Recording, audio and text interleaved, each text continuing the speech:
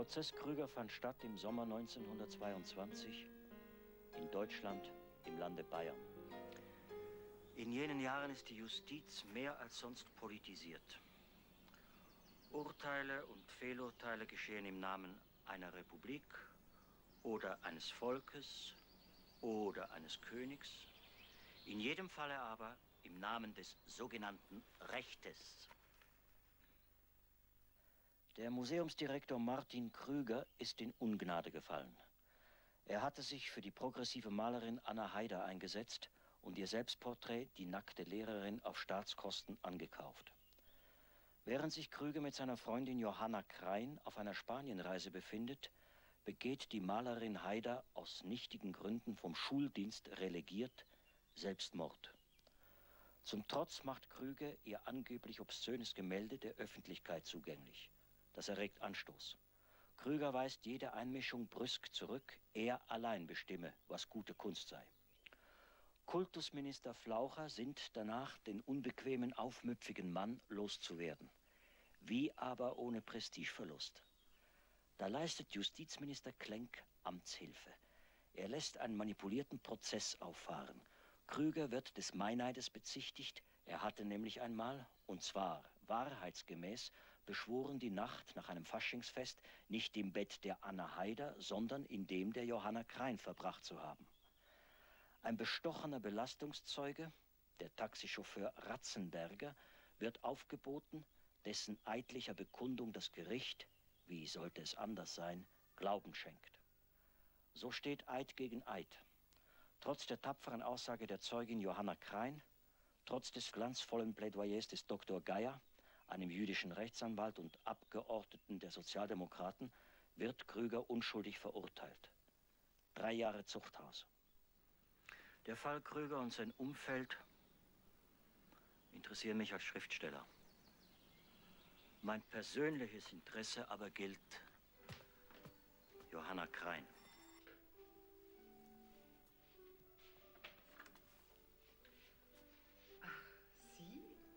Das ist aber eine Überraschung. So, finden Sie? Die Chance, Ihre Adresse zu wissen, muss ich doch ausnützen. Bitte? Danke.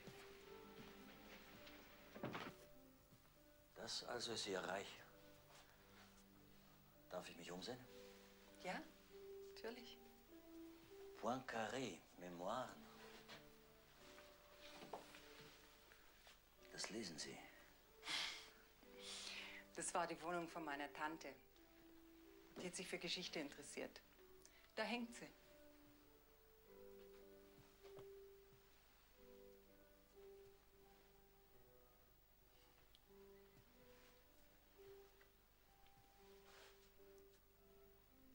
Ich interessiere mich für Handschriften.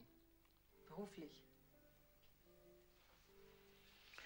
Ich möchte Sie entführen, Johanna. Das hier ist aber kein Serai, Herr Tübelin. Malgré, ich möchte mit Ihnen zum Ammersee fahren. Mein Auto steht vor der Tür. Ich dachte, das wäre eine gute Idee an einem so schönen Sonntag. Was halten Sie davon?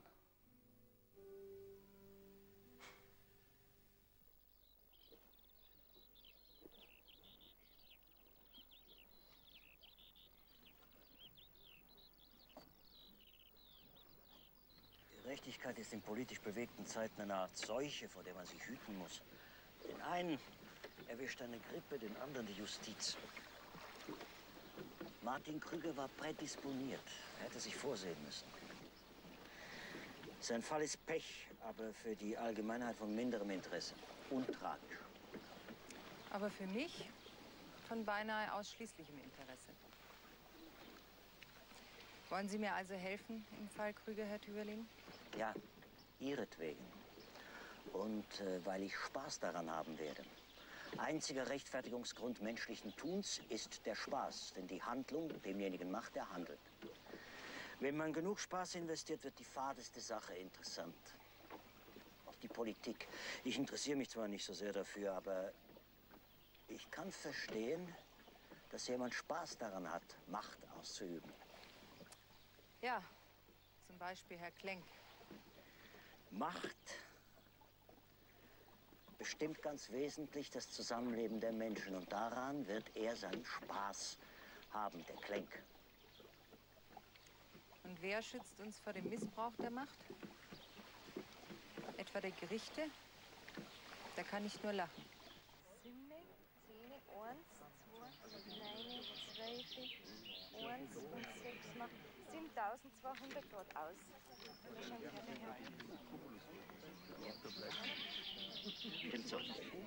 Danke.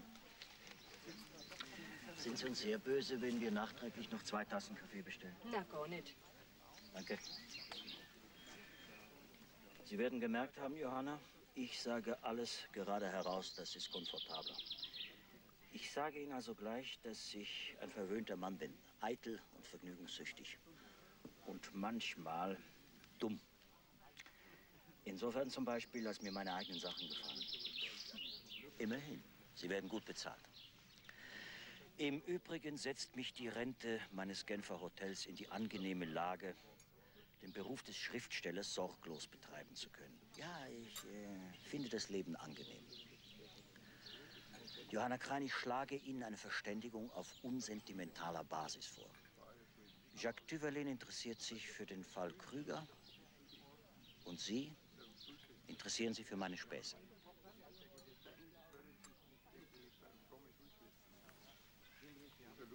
Das Sonderbare ist, dass Martin eine Wiederaufnahme seines Verfahrens gar nicht will. Ich begreife das nicht. Bei seinem fanatischen Gerechtigkeitssinn. Glauben Sie, dass die gerechte Sache identisch ist mit der erfolgreichen? Kröger spielt jetzt den Märtyrer, aber ein Sankt Helena macht noch keinen Napoleon.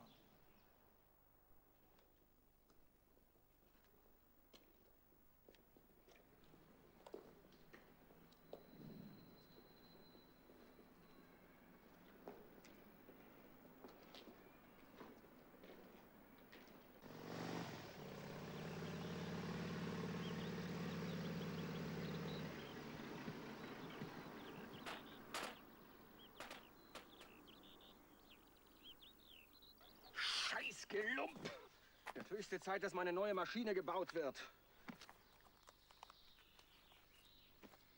Vielleicht hätte ich Martin längst heiraten sollen.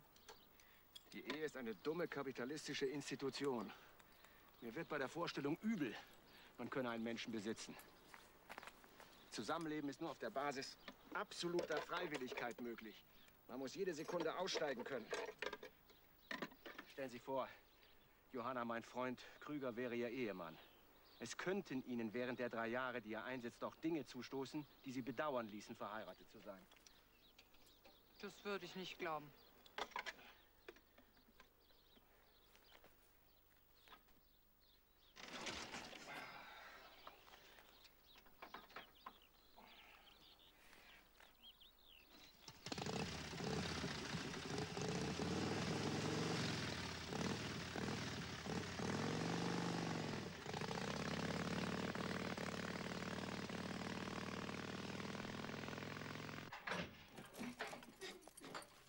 Haben Besuch, Krieger. Kommen Sie mit.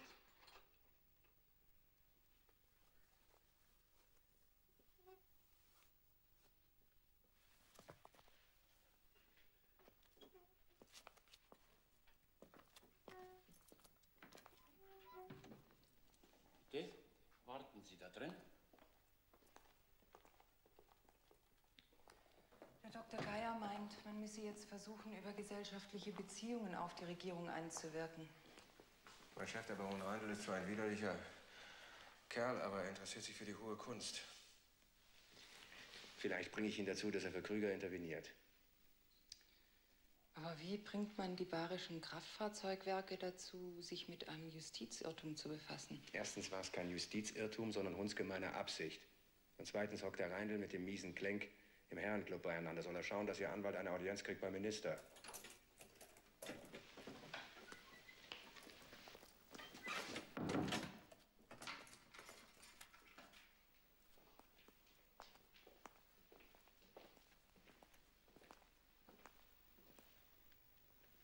Schön, dass ihr gekommen seid. Ich danke euch dafür. Martin, ich. Der Kaspar war so nett und hat mich herbegleitet. Und?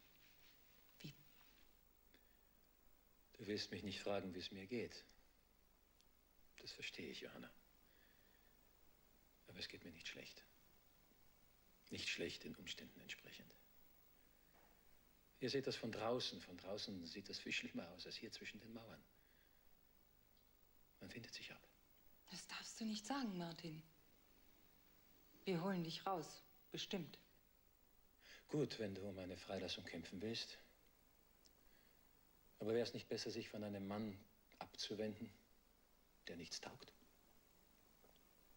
Ich gebe dich frei, Johanna. Du bist ein feiger Hund, Martin Krüger. Reiß dich bloß zusammen. Und eins sage ich dir, als dein Freund sage ich dir das. Merk dir nur alles, was sie dir antun. Merk es dir für dein ganzes Leben. Das wird die Weltanschauung von uns beiden beträchtlich annähern. Eine Weltanschauung, Bröckl und meine. Was ist das überhaupt, Weltanschauung? Irgendein Ismus. Ich kann Begriffe auf Ismus nicht ausstehen. Wie Impressionismus, Expressionismus, Kubismus. Selbst in der Kunst finde ich Ismen fragwürdig. War Cézanne ein Impressionist? Ein guter Maler war Asetou. Hat der grüne Wald expressiv gemalt? Oder nur die Herren vom Blauen Reiter? Dieses ganze Kästchen denken, das ist doch Unfug. So gefällt er mir schon besser. Die Scheiße ist nur, dass ich nicht die nötigen Bücher hier habe, um ordentlich arbeiten zu können. Ein Mann ohne seine Bücher ist ein halber Mann. Ich bin sicher, dass ein Martin Krüger auch eine Zeit lang ohne seine Bibliothek auskommen kann. Tja, wird er müssen. Der Dr. Krüger ist der Regierung unbequem. Er hat Ansichten, die dem Wesen der Bevölkerung, der Methode der Verwaltung zuwider sind. Auch widersprechen seine Kunstanschauungen den üblichen Sitten und Gepflogenheiten, an denen der in seiner Grundschicht alpine konservative Stamm der die bayerische Hochebene bewohnt, festhält. Festhält. Dass diese Sitten und Gebräuche nicht übereinstimmen mit denen des übrigen Europa, dass sie basierend auf den Notwendigkeiten früherer Jahrhunderte patriarchalisch, also unlogisch und störend sind tut nichts zur Sache. Haben Sie? Tut nichts zur Sache. Aufgrund des Tatbestandes, dass der Dr. Krüger eigenwillige Anschauungen durchgesetzt hatte, nahm sich die Regierung selbstverständlich das Recht, den Mann mit den konträren Ansichten als Verbrecher abzuschieben.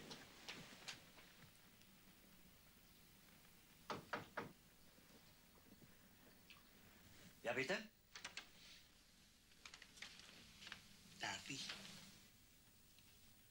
Immer herein, wenn es ein Schneider ist. Ich habe den Smoking zur Anprobe gebracht. Sehr gut, danke, bitte.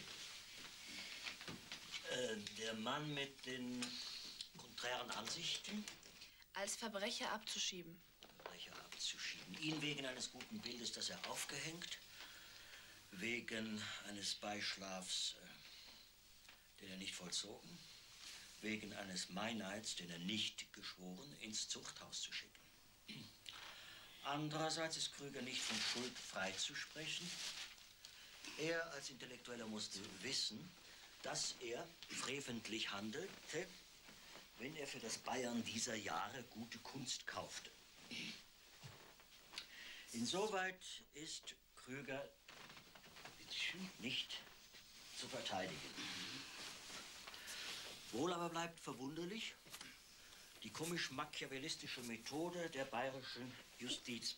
Bitte sich ein wenig ruhig zu halten, Herr Tüvelin. Die komisch was? Machiavellistische Methode der bayerischen Justizpflege. Was heißt das überhaupt? Von Machiavelli, C-H-I-L-L, der sagt, Recht ist, was dem Staate nützt. Origineller wäre es gewesen, den Direktor der staatlichen Galerien wegen eines Verstoßes gegen das Übliche zu verurteilen, obwohl Obwohl es landesüblich ist, eine Frau zu beschlafen und es hinterher abzuschwören. Leider gibt es für Prozesse solcher Art keine gesetzliche Handhabung. Möchten vor den Spiegel treten und selbst. Ja.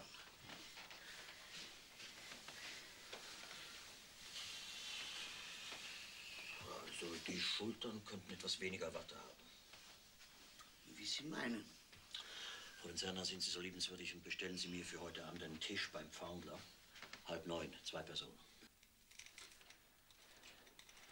An jenem Tag, im blauen Mond September, still unter einem jungen Pflaumenbaum, da hielt ich sie in meinem Arm wie einen Traum. Wie einen holden Traum. Und über uns, im schönen Sommerhimmel, war eine Wolke, die ich lange sah. Sie war sehr weiß und ungeheuer oben. Und als ich aufsah, war sie nimmer da.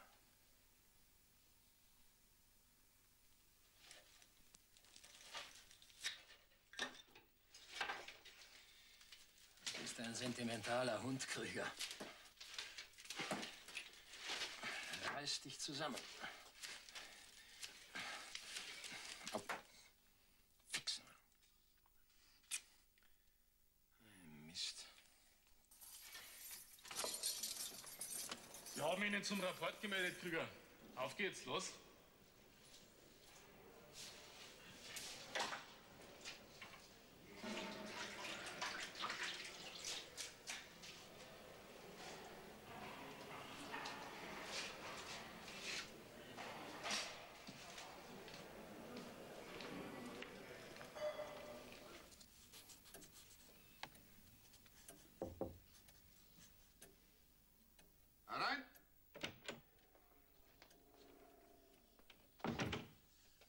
Martin Krüger, Nummer 2478. Oh. Oh, sehr begabt. Haben Sie das gezeichnet, Herr Direktor? Also, was wollen Sie? Ich bitte zu gestatten, dass ich mir Bücher kommen lassen darf. Wissenschaftliche Literatur. Die Bücher der Anstaltsbibliothek genügen wohl nicht. Sie genügen nicht. Haben Sie schon einmal darüber nachgedacht, ob Sie als Strafgefangener oder als Privatgelehrter eingestellt sind? Es grenzt an Zynismus, dass Sie sich bereits während der ersten Vollzugsstufe zu solch einer Bitte erdreisten. Ich überlege mir, ob ich diese Frechheit nicht bestrafen muss. Ich bin sicher, dass Sie immer streng nach Vorschrift handeln. Die Vorschrift besagt auch, dass bei einer Hausstrafe die Bewährungsfrist für den Rest Ihres Pensums ein für allemal ausgeschlossen ist. Ich rechne nicht mit Bewährung, mein Herr. Ich rechne mit Freispruch und Wiederherstellung. Es ist ganz selbstverständlich, dass ich Ihnen helfe, Johanna. Aber das schließt doch nicht aus, dass ich ausspreche, was ist. Im Fall Krüger ist es nur förderlich, wenn man klar sieht. Guten Abend, meine Herrschaft. Werden Sie gut bedient? Wünsche wohl zu speisen.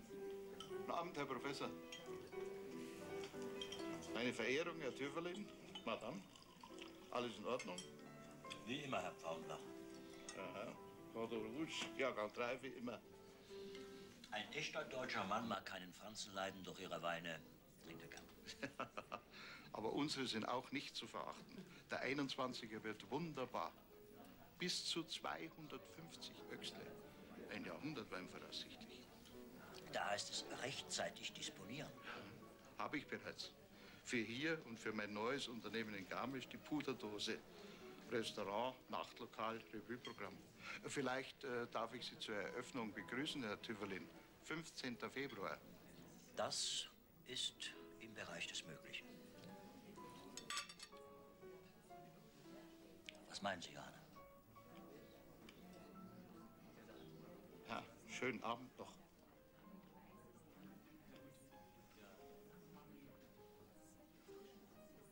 Ich habe übrigens unlängst als Gast im Herrenclub den Minister Klenk kennengelernt. Sympathischer Mann. Er vertritt die schlechteste Sache der Welt. Und mancher gute Mann vertritt eine schlechte Sache. Ich habe Ihre Aphorismen satt. Man greift in lauter Glassplitter, wenn Sie reden. Sie sind schlimmer als die bayerische Justiz. Wann sehe ich Sie wieder?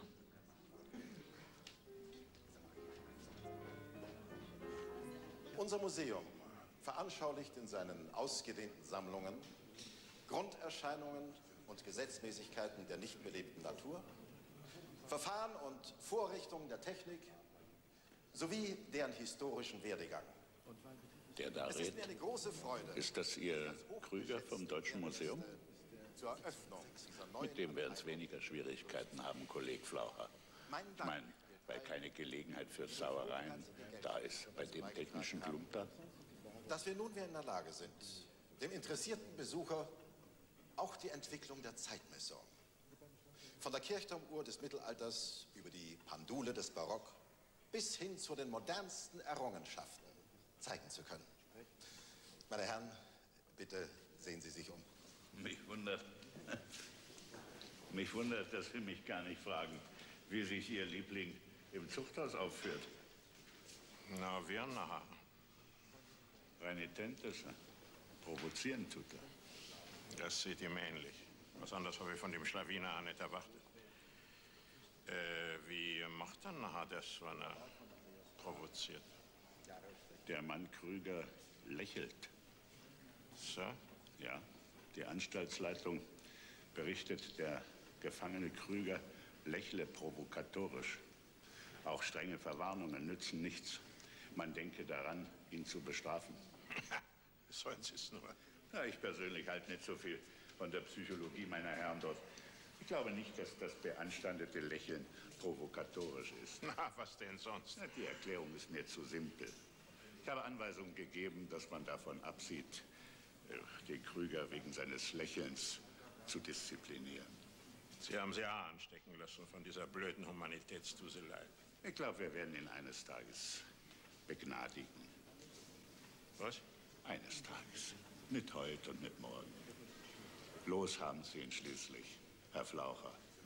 Und rachsüchtig sind wir doch nicht. Oder? Der Boxer ist jetzt quergestellt, damit die beiden Zylinder im Fahrtwind liegen. Motor, Getriebe, Kardanantrieb. Selbstverständlich Kardan und nicht Kette. Alles in einem Block. Schaut gut aus, Kaspar. Gratuliere. Danke. Aber ob da der Reindl mit tut? Grüß Gott, die Herren.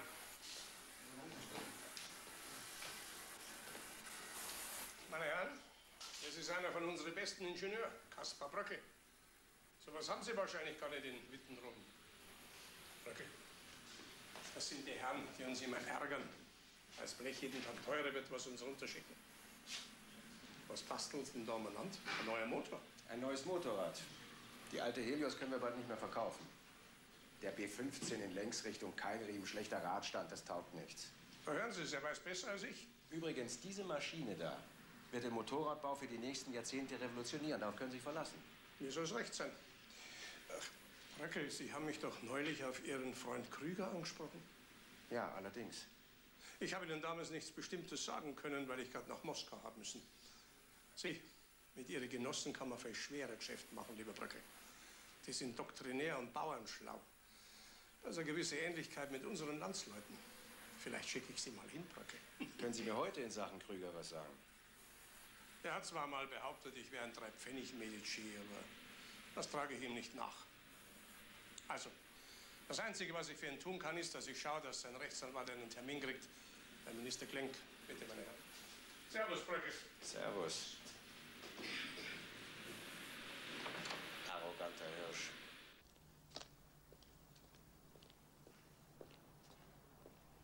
Na komm. Wird auch Zeit. Judenschwein, das uns drei Stunden warten lässt. Halt, stehen bleiben. Wünschen Sie.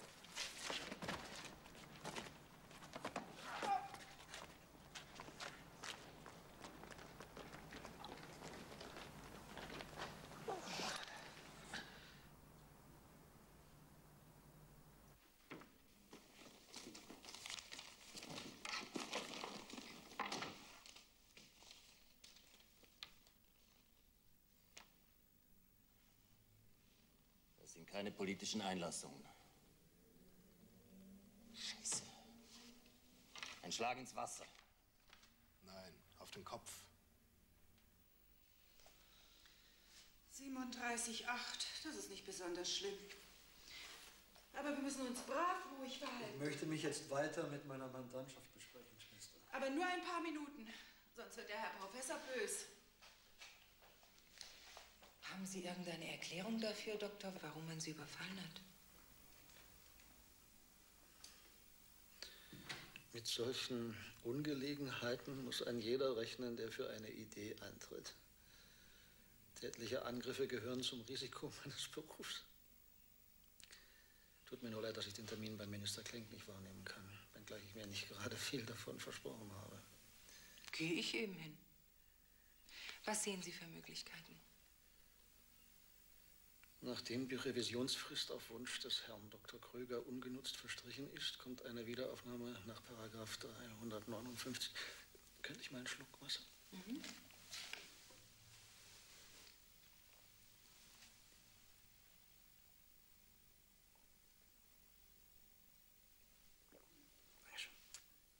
Nach Paragraph 359 nur in Frage, wenn neue Tatsachen oder Beweismittel beigebracht werden, die das Gericht für geeignet hält, im Zusammenhang mit den früher erhobenen Beweisen die Freisprechung des Angeklagten zu bewirken. Mhm. Und was wären solche Beweismittel? Wenn zum Beispiel erwiesen würde, dass der Ratzenberger falsch geschworen hat. Selbstverständlich habe ich das Naheliegende bereits getan und den Ratzenberger wegen Meineids angezeigt. Es ist aber äußerst unwahrscheinlich, dass die Staatsanwaltschaft daraufhin Anklage erheben wird. Auch auf eine Begnadigung hinzuwirken, ist vorderhand so gut wie aussichtslos. Juristisch kann ich also wenig für ihn tun. Und auf anderem Weg? Sie könnten vielleicht durch gesellschaftliche Beziehungen auf die Regierung einzuwirken suchen.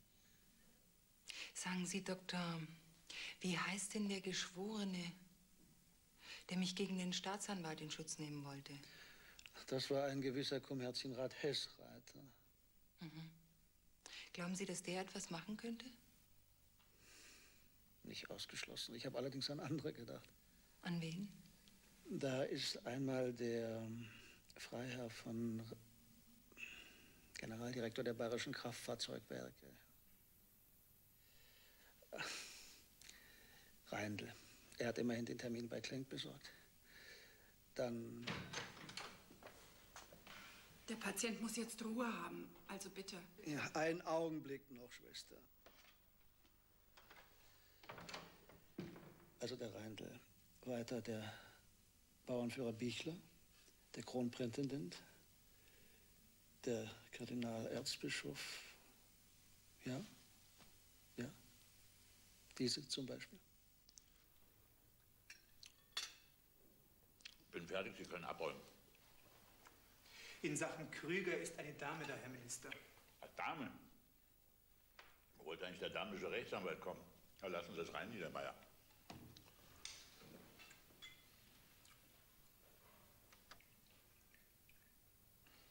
Der Herr Minister lässt bitten.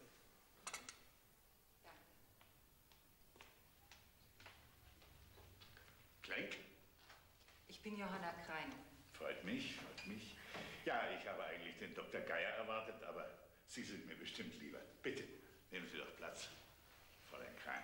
Der Dr. Geier kann leider nicht kommen. Man hat ihn überfallen. Und jetzt liegt er im Nymphenburger Krankenhaus.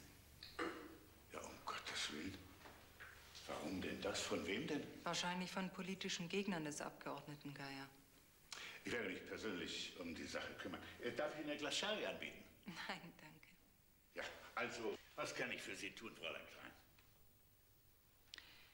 Sie können dafür sorgen, dass der zu Unrecht verurteilte Dr. Martin Krüger vom Zuchthaus Straubing in seine Wohnung Elisabethstraße 3 zurückkehren kann.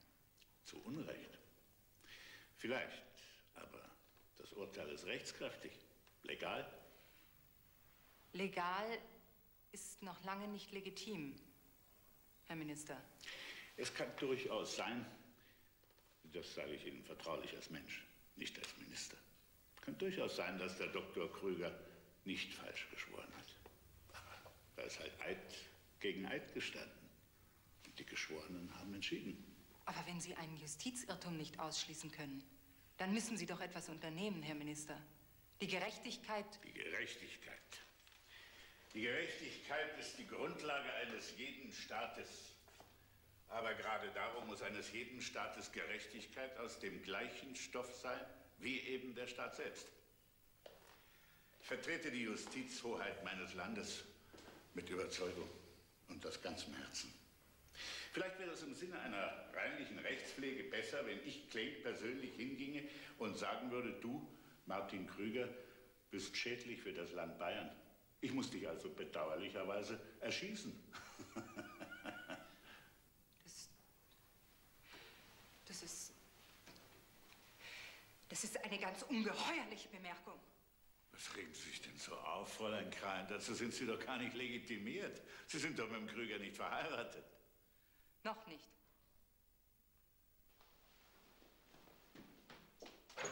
Niedermeyer!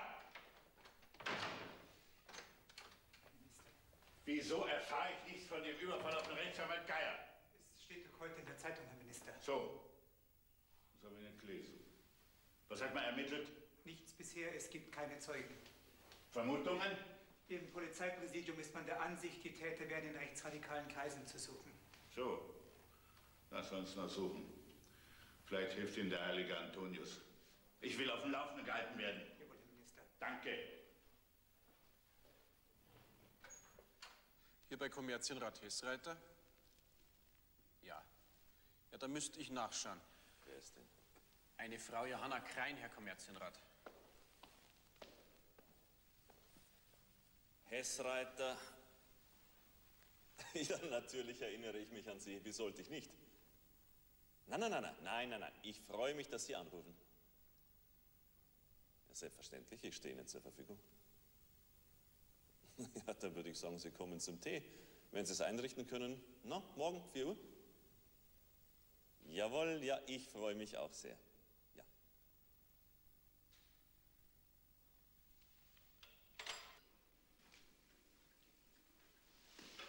So, danke, Anton, ich mache das schon.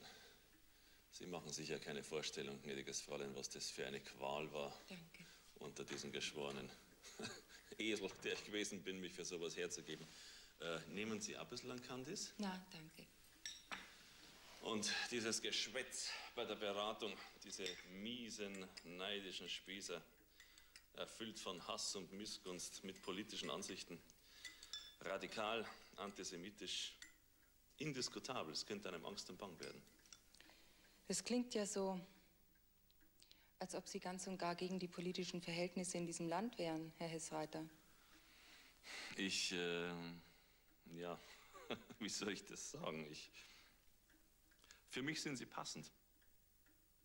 Ich meine, äh, das äh, mag zwar nicht für alle zutreffen, aber natürlich freue ich mich, wenn es möglichst vielen Leuten gut geht. Schauen Sie, ich habe eine keramische Fabrik, ich stelle Massenware her, die muss verkauft werden. Und geht es den Leuten gut, geht es mir auch gut. Oder richtiger gesagt, noch besser. Ganz praktisch, wenn man das Allgemeine so mit dem Persönlichen verbinden kann. Ach ja, wer ist kein Egoist? Aber es muss alles seine Grenzen haben, selbstverständlich. Ja, der Grund meines Kommens ist auch ein egoistischer. Herr Hessreiter, ich wollte Sie bitten, ob Sie vielleicht etwas für Martin Krüger tun können. Ich meine für seine Rehabilitierung nach dieser unglaublichen Rechtsbeugung. An der ich unschuldig bin. Umso eher haben Sie vielleicht Verständnis für meine Bitte. Tja, Sie glauben wirklich, dass ich äh, in irgendeiner Weise. Mein Anwalt, Dr. Geier, meint. Dr. Geier? Ja, ist er denn wieder auf den Beinen nach diesem schrecklichen Überfall? Ja, halbwegs. Er meint, der Fall Krüger sei längst keine juristische Angelegenheit mehr, sondern eine politische. Und deswegen rät er mir, es über gesellschaftliche Kontakte zu versuchen. Ich meine, das ist ein etwas vager Rat, aber Vage, ja, aber Vielleicht, äh, vielleicht könnte meine liebe Freundin, Frau von Radolny, die hat ja glänzende Beziehungen zum Kronprätendenten. Äh, ich nehme an, Sie selber kennen persönlich niemand dergleichen. Nein. Deswegen bin ich ja hier. Aber äh, bevor wir weiterreden, möchte ich Ihnen gern was zeigen. Einverstanden? Mhm.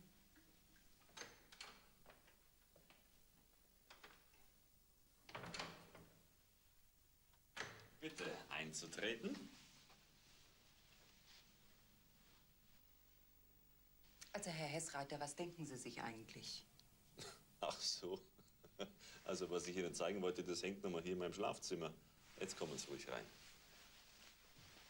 Und drehen Sie sich um. Na, ist die Überraschung gelungen? Ich hab's nie gesehen. Wie finden Sie es denn?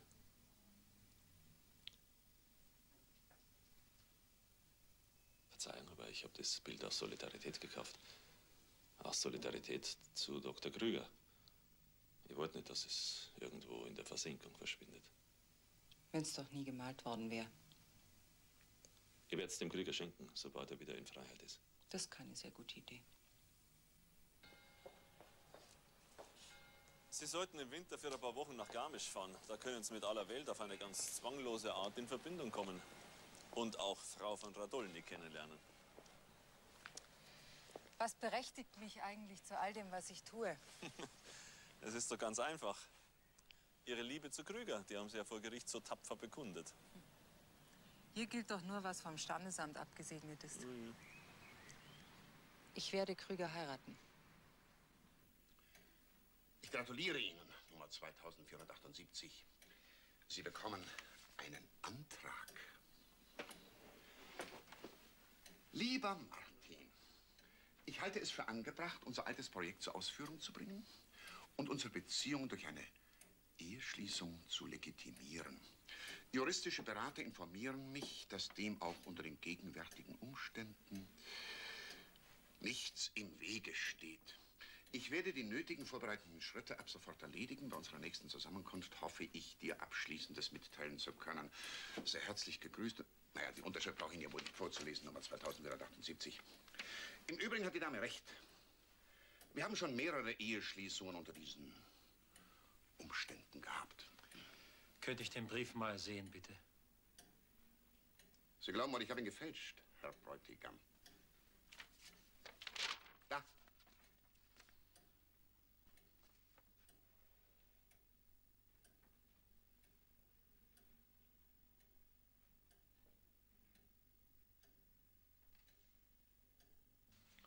Haben Sie die Freundlichkeit, das inzwischen nochmal zu tippen, Fräulein Selmer? Ich bin dann am Nachmittag wieder da. Und äh, meine Einlassungen zur Geschichte der Stadt München bitte auf, auf blauem Papier archivieren. Wird gemacht, Herr Tübelin. Wenn der Verlag anruft, sind Sie irgendwo zu erreichen? Ja, im Zuchthaus Straubing. Wo bitte? Ja, ich trete dort als Trauzeuge auf. Für Fräulein Krein. Ein Akt tätiger Reue nach einer kleinen Kontroverse neulich.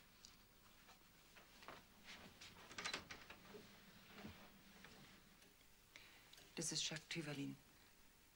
Ich freue mich, Sie kennenzulernen, Herr Düberlin. Danke für Ihre Bereitschaft. Ich glaube, wir sollten anfangen. Bitte heranzutreten. Ja, tun wir das.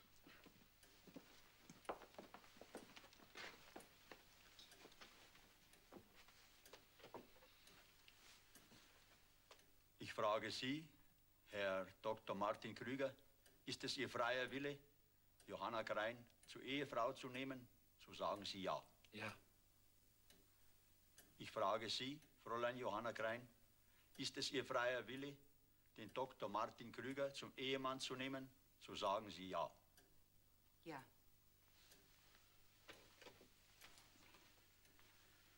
Somit erkläre ich Sie für rechtmäßig getraute Eheleute und ihre Unterschrift bitte. Zuerst Ehemann.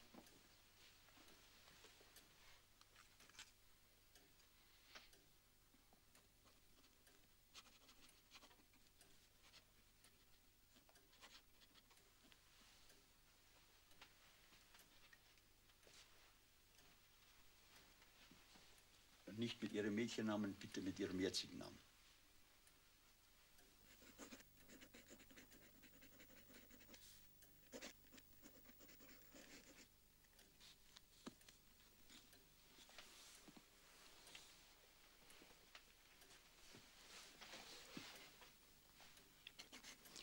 Herr Direktor, mit dem Vollzug dieser Ehe? Das würde die Leser der Telegrammzeitung sicher sehr interessieren. Wenn Sie die Gelegenheit zum Beischlaf meinen, kann ich nur sagen, sonst noch was? Da muss ich Nummer 2478 noch beinahe drei Jahre gedulden.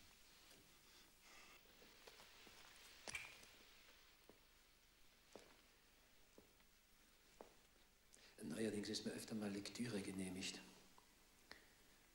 In Brems Tierleben hat mich das Kapitel über diese Lemminge besonders interessiert. Seltsam, ihre rätselhaften Wanderungen. Wie sie in ungeheure Scharen zusammengedrängt, plötzlich wie vom Himmel gefallen auftauchen und sich durch nichts aufhalten lassen. Durch keinen Fluss, keinen See, selbst durch das Meer nicht. Das beschäftigt mich sehr. Nach Bremen ist es nicht richtig, dass Nahrungsmangel der Grund für diese Völkerwanderung ist. Ich glaube das auch nicht.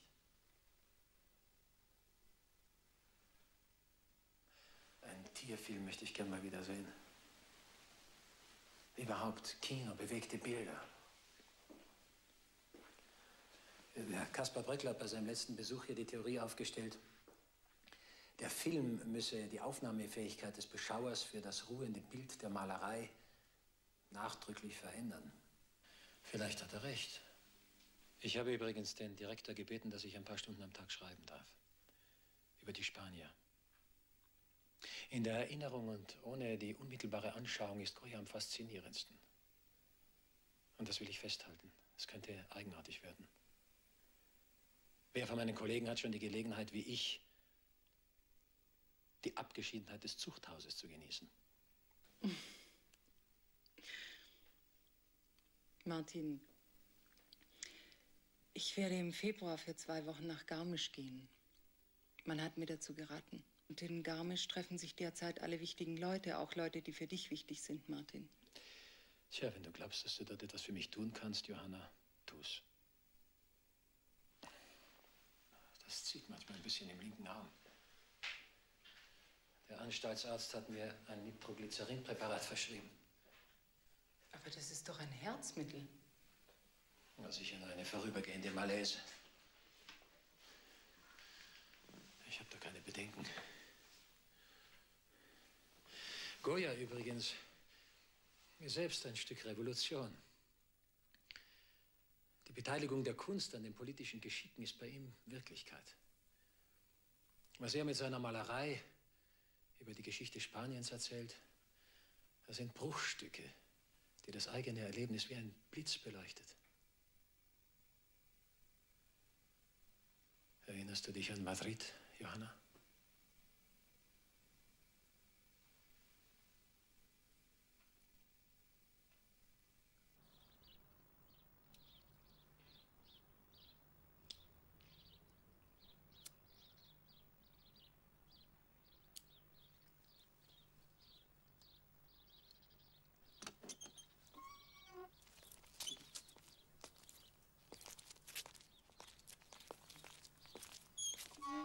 Noch ein Wort, bitte schön, Herr Tüvelin. Ja? Herr Tüvelin, ich kenne Ihre Bücher. Erfreulich. Coriolan gefällt mir am besten. Da nehmen Sie die Philister ganz schön aufs Korn. Meinen Sie? Unsere Leser würden sicher gerne erfahren, wie es kommt, dass Sie für Dr. Krüger den Trauzeugen machen. Sind Sie befreundet? Meine Einstellung zu dem zu Unrecht Verurteilten können Sie demnächst in diversen Gazetten lesen. Ich möchte aber, Sie verstehen, gern selber drüber schreiben. Gut, dann schreiben Sie.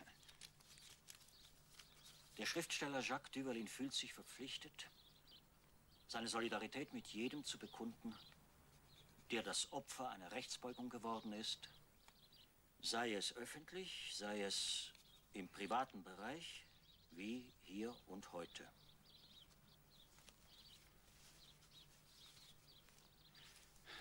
Danke. Bitte. Der Tüferlin hat seinen Artikel über deinen Fall einer internationalen Presseagentur übergeben. Und ich bin sicher, dass er jetzt in allen wichtigen Zeitungen erscheinen wird. Denn er ist wirklich gut. Viertel nach eins. Die Sprechzeit ist leider um. Ich muss Ihnen bitten, Frau Krüger.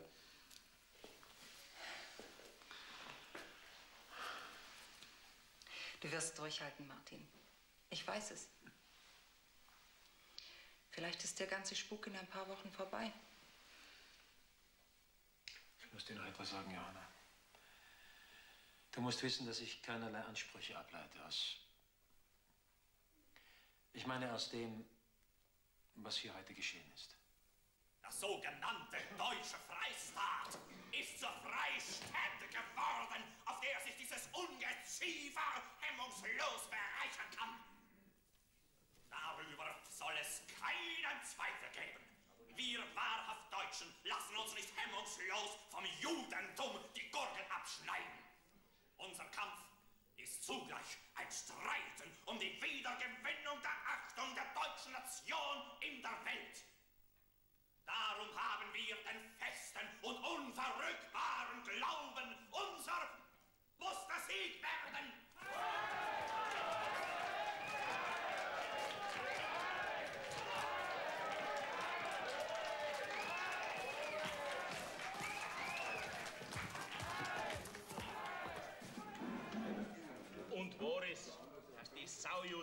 Sind an allem.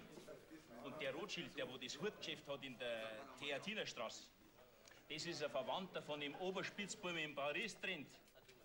Und ich sag Ihnen was, wir gingen hin zu dem Rothschild und hauen ihm sein Schaufenster ein. Und ihren selber, den hauen wir auch zusammen, den reichen Schlawiner. Du hast doch einen Vogel, Ratzenberger. Was meinst du, wenn der so reich war, dass er nachher selber Hirt verkauft und stellt sich in den Lohn rein und bedient er jede spinnerte Gas? Du warst ein Dreckgirl. Ich kenne ihn selber, den Rothschild, weil er ihm schon seit sechs Jahren meine Semen liefert. Na, na, na, das ist ein guter Mo. Für was soll der was kennen, dass der Krieg gegangen ist? Und für Versailles? Gar nichts. Ja, und ich hab mich schon mal drin gehabt in meiner Droschken. Mit einem galizischen Rabbiner ist er eingestiegen. Was meint sie, was die geredet haben miteinander? Daran habe ich gemerkt, dass der Rothschild Mitglied von einem Geheimbund ist. Ich muss er werden der Saujud. Ja, und das sind die Leute, die was richten, dass unser Geld alle Tag weniger wert ist. Jetzt sag doch mal was, Ratzenberger. Du meinst nämlich, dass du der Moor bist, seit du den Meinheit geschworen hast? Dass du der Einzige bist, der wo euer Recht hat? Was hätte ich? An Meinheit hätte ich geschworen. Ja, ein meineidiger Hund bist. Sag das noch einmal. Freilich sage ich das noch mal, dass du ein meineidiger Hund bist.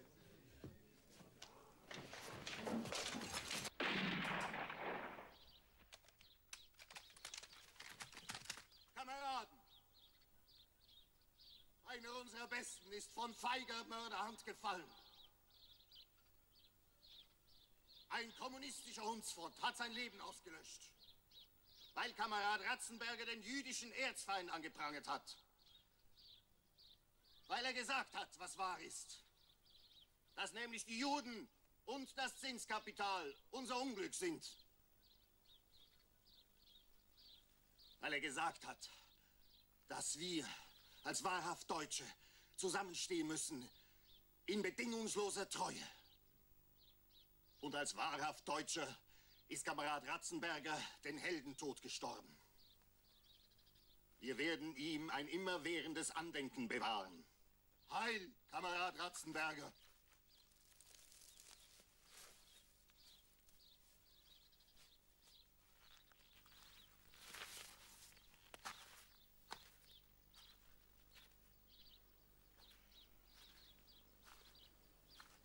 Du fielst von schnöder Mörderhand in deinen besten Jahren.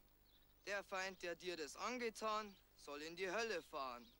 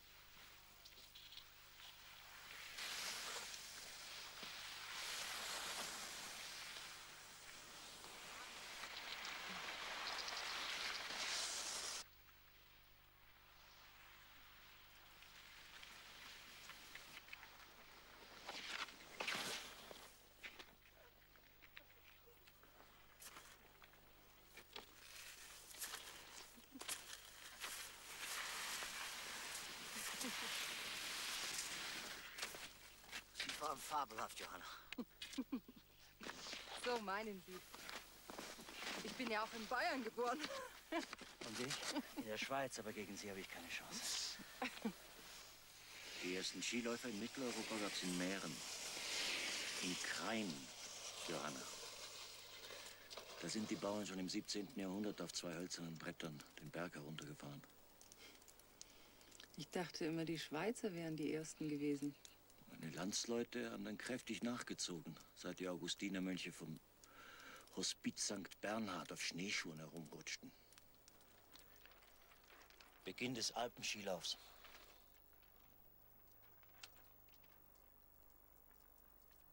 Übrigens stelle ich fest, dass Sie Ihren Mann heute noch gar nicht erwähnt haben. So? Wann haben Sie ihn das letzte Mal gesehen? Ich bin nur einmal da gewesen, seit wir verheiratet sind. Und? Er war mir sehr fremd in seiner Verzagtheit. Manche reden davon, dass Leiden den Menschen besser mache, sagt er. Ihn nicht, sagt er. Vielleicht unter freiem Himmel, sagt er.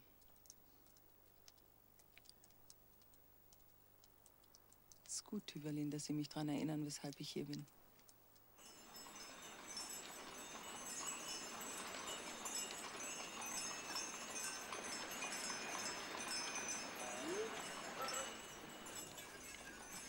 Bitte? Bitte sehr. Bis heute Abend.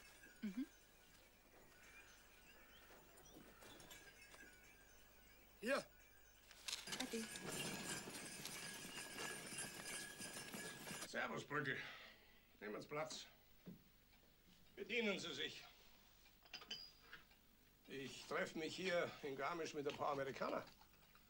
Vielleicht ergibt sich dabei die Gelegenheit, dass das Projekt mit Ihrem neuen Motorrad auf eine breitere Basis gestellt wird. Kooperativ sozusagen. Weltweit, nicht wahr? Soll ich den Herrn technische Erläuterungen geben? Oh, das ist nicht notwendig. Nur um mir das zu sagen, bestellen Sie mich her? Ja, warum sind Sie denn so grantig? André? Das soll ich hier abgeben, Herr Baron. Sehr schön. Danke. Ich habe mir erzählen lassen, lieber Bröckel, dass Sie gelegentlich zur Laute singen. Selbstgemachte Sachen. Singen Sie mir doch mal was davon vor.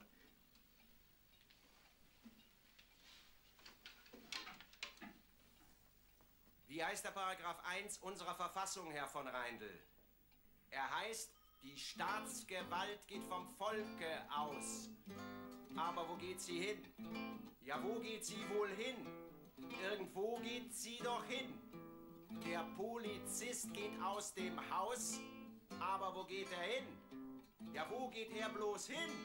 Seht, jetzt marschiert das große Trumm. Aber wo marschiert es hin? Ja, wo marschiert es wohl hin? Irgendwo marschiert es doch hin. Jetzt schwenkt es um das Haus herum. Aber wo schwenkt es hin? Ja, wo schwenkt es bloß hin? Die Staatsgewalt macht plötzlich Halt. Da sieht sie etwas stehen. Was sieht sie denn da stehen? Da sieht sie etwas stehen. Und plötzlich schreit die Staatsgewalt. Sie schreit, auseinandergehen! Warum auseinandergehen? Sie schreit, auseinandergehen. Ihr Geschmack, Herr von Reindl? Bravo. Weiter. Da steht so etwas zusammengeballt und etwas fragt warum. Warum fragt es denn warum? Da fragt sowas warum? Da schießt natürlich die Staatsgewalt und da fällt so etwas um. Was, was fällt denn da so um? Warum fällt es denn gleich um? Die Staatsgewalt sieht, da liegt was im Kot. Irgendwas liegt im Kot. Was liegt denn da im Kot? Irgendwas liegt doch im Kot. Da liegt etwas wie Mause tot. Aber das ist ja das Volk. Ist denn das wirklich das Volk? Ja, das ist wirklich das Volk.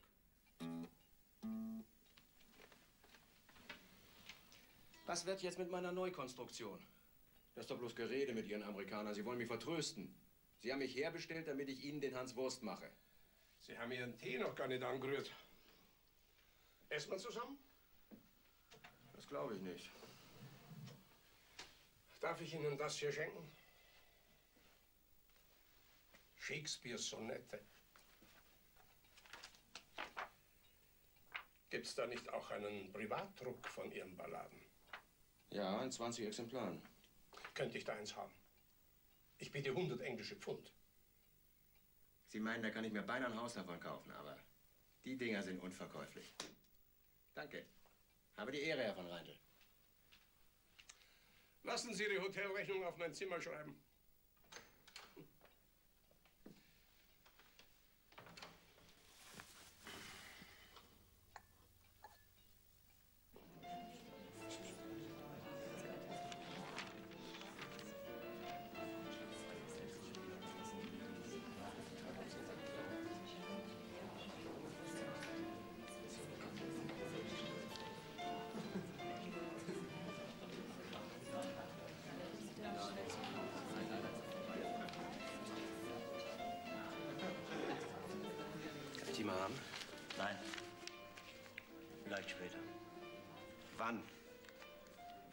Stunde, vielleicht in zwei. Wenn die Dame erschienen ist, auf die ich hier warte. Oh, ich rate Ihnen ab. Falls Sie kein Jiu-Jitsu können, ist das aussichtslos. Es sei denn, Sie sind ernsthaft politisch interessiert. Sind Sie das? Sicher mehr als Sie. Dann können Sie sie gleich lesen.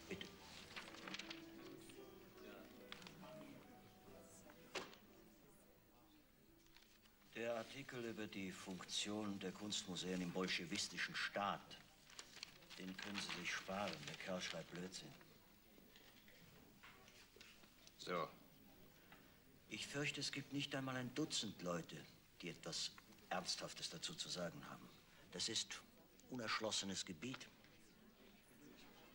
Ich habe ein Jahr damit verloren, um draufzukommen, dass der Marxismus Sinn für mich hat. Und ein weiteres Jahr,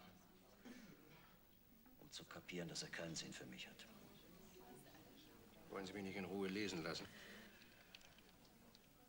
Die Schwierigkeit für mich ist, dass ich zwischen den Klassen stehe. Ich bin nämlich Schriftsteller. Aber zurzeit bin ich sowieso der Meinung, dass das deutlichste Motiv für meine Handlungen der Spaß ist. Der reine Spaß. Sie verstehen? Nein. Es gibt eine gewisse Glorifizierung des Spaßes in einem antiken Theaterstück. Darin ist der Spaß ungefähr aufgefasst als Kreuzung und Durchkreuzung der zivilisatorischen Vernunft durch den Naturtrieb. Pentheus gegen Bacchus. Das Stück ist von Euripides und heißt Die Backchen. Kennen Sie das zufällig? Ich kenne es nicht. Aber ich gebe Ihnen zu, dass dieser Artikel ein Schmarrn ist. Was haben Sie da gerade über Spaß gequatscht? Ich wollte eigentlich nur sagen, dass ich nicht so anmaßend bin, meinen Spaß, das heißt, also das, was ich schreibe, als verbindlich auch für andere zu erklären. Unverbindlichkeit ist eine Todsünde. Aha, das Diktat der Verbindlichkeit. Wissen Sie, das überlasse ich anderen. Machtmenschen, Politikern, Pfaffen, Hohlköpfen. Und Schriftstellern, die sich mit Recht zu nennen, weil sie Dokumente der Zeit machen. Das ist ihre Funktion, sonst nichts. Die Menschen in diesem Staat sind gespalten in zwei Klassen, die sich bekriegen. Der Klassenkampf ist der einzig gegebene Gegenstand für einen Schriftsteller. Vor dem kann er sich nicht drücken. Sonst ist seine Existenz ohne Sinn. Ja, schauen Sie hin. Der schiere Strich. Das lasterhafte Tal. Shakespeare oder Johannes R. Becher? Keiner von beiden. Wer? Das ist wurscht. Stimmt jedenfalls. Übrigens heiße ich Bröckel. Kaspar Bröckel. Jacques Duverly. Ach so, der. Ja. Cognac? Ja. Herr Ober. Zwei Cognac, bitte. Großen. Was machen Sie denn in Garmisch, Herr Bröckel? Per Order Mufti. Ich bin bei den Bayerischen Motorenwerken beschäftigt, aber nicht mehr lange. Der Alte geht mir auf die Nerven. Baron Reindl? Mhm. Was halten Sie von der Literatur der Aufklärung, Herr Bröckel? Nix. Verstaubtes Zeug. Sie halten also nichts von den Idealen der Freiheit, Vernunft, der Güte. Was nützt die Güte, wenn die Gütigen erschlagen werden? Oder man erschlägt die, zu denen die Gütigen gütig sind. Was nützt die Freiheit, wenn die, die frei sind, unter den Unfreien leben müssen? Was nützt die Vernunft, wenn bloß der Unvernünftige etwas zu fressen hat? Anstatt nur vernünftig zu sein, müssen wir dafür sorgen, dass die Unvernunft zu einem schlechten Geschäft wird. Anstatt nur gütig zu sein, müssen wir einen Zustand schaffen, der die Güte überflüssig macht. Und anstatt von Freiheit zu faseln, müssen wir einen Zustand schaffen, der sogar die Liebe zur Freiheit überflüssig macht, weil alle frei sind. Und das wäre dann die normative Kraft des Faktischen. Ihre Theorie ist etwas eingleisig, Herr Bröckel. So, meinen Sie? Ah, der Cognac. Danke. Also, Herr Bröckel. Für wohl.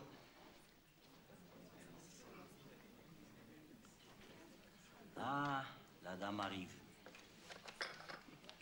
Grüß Gott, Kaspar. Grüß Gott.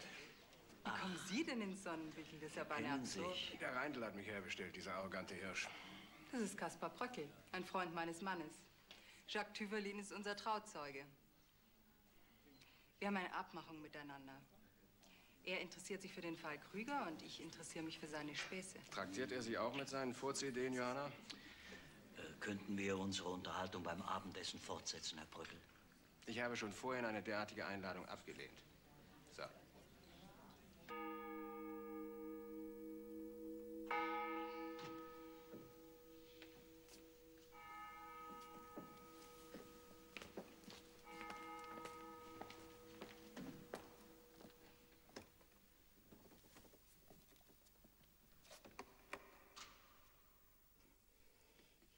Gelobt sei Jesus Christus. In Ewigkeit. Amen. Ich habe es gestern beicht bei Ihnen hochwerden. So, sind Sie jetzt schon wieder da. Ja, weil ich gestern was nicht gesagt habe und überhaupt noch nie. Was denn? Es, es ist wegen meinem Mann. Der gestorben ist, weil sie ihn erschlagen haben. Ach, Und weil er einmal an Meinheit geschworen hat, mein Mann, und der andere dafür im Zuchthaus sitzt. natürlich unschuldig.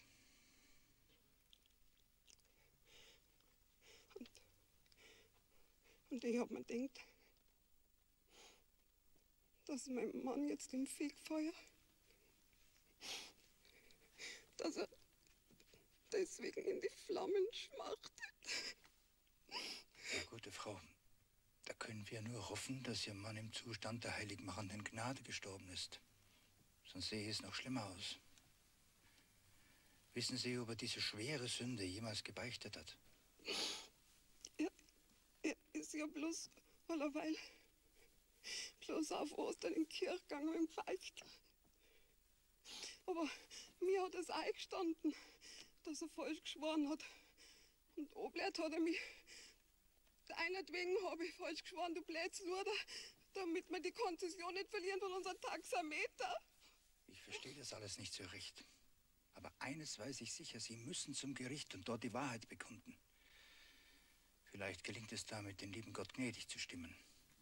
Und er erbarmt sich der armen Seele Ihres Mannes.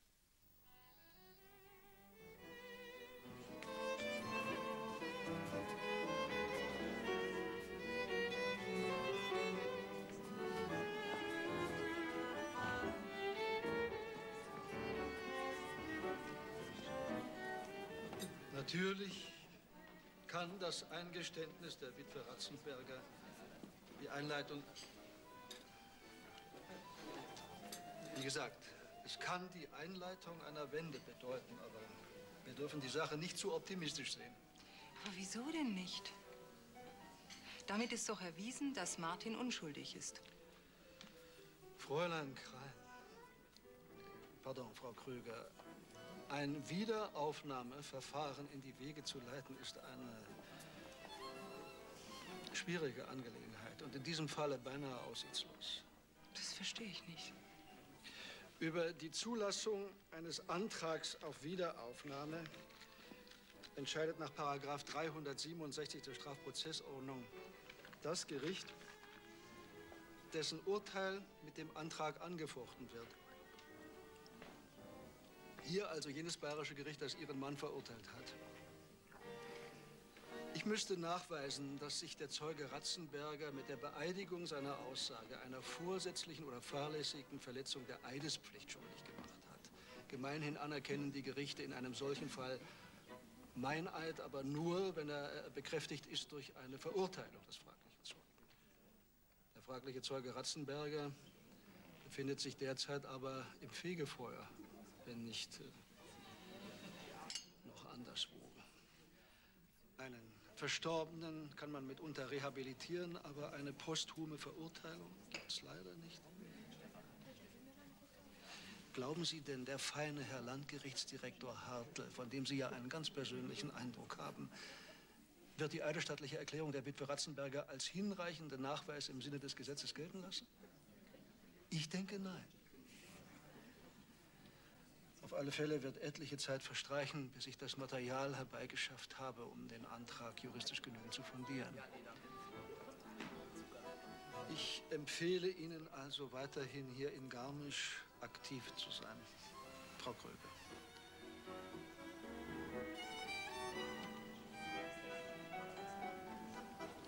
Erich. Darf ich um das Vergnügen bitten, mit Ihnen zu tanzen?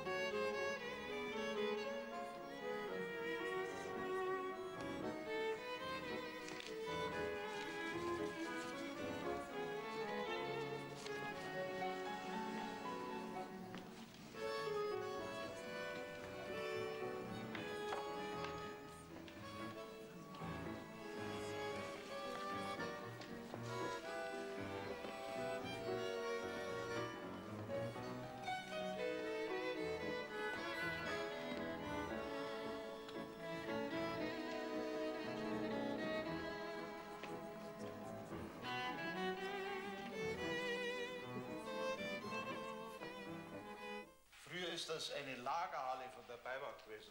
Haben sie noch nicht mehr gebraucht. Und da denke ich mir, Chandler, denke ich mir, da machst du Nachtlokal draus. Die Dekoration habe ich von Berlin. Da hat der Kollege umgeschmissen und der hat mir das ganze Zeug billigst verkauft. Der war froh, dass es los war und ich war froh, dass es gehabt hat. Nicht schlecht, was, Herr Tüffelin? Sehr listig. Und fertig wird's auch bis zur Premiere. Pünktlich zum 15., wie ich Ihnen damals gesagt habe in München. Ich freue mich, dass Sie kommen werden. Und Ihren Cordon Rouge habe ich auch schon. Gut. Und das Programm. Die Insarova, meine Entdeckung. Eine Rossin. habe ich auch in Berlin gefunden.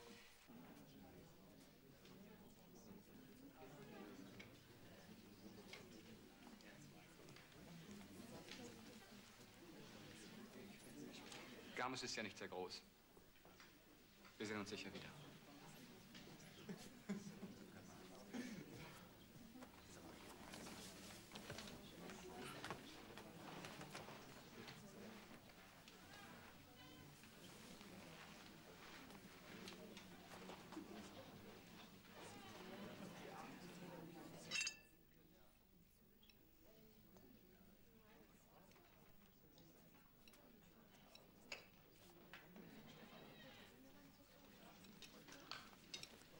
Das sind Sie ja. Freue mich, dass Sie meinem Ratschlag gefolgt sind. Ach, Herr Hessreiter. Ja, soeben angetroffen und nicht allein. Darf ich die Dame bekannt machen? Das ist Johanna Krein und hier ist meine liebe Freundin Katharina Radolny. Grüße Sie, Fräulein Krein. Ich heiße jetzt Krüger, Ach, haben Sie es also wahr gemacht. Dürfen wir uns ein bisschen zu Ihnen hersetzen? aber gern.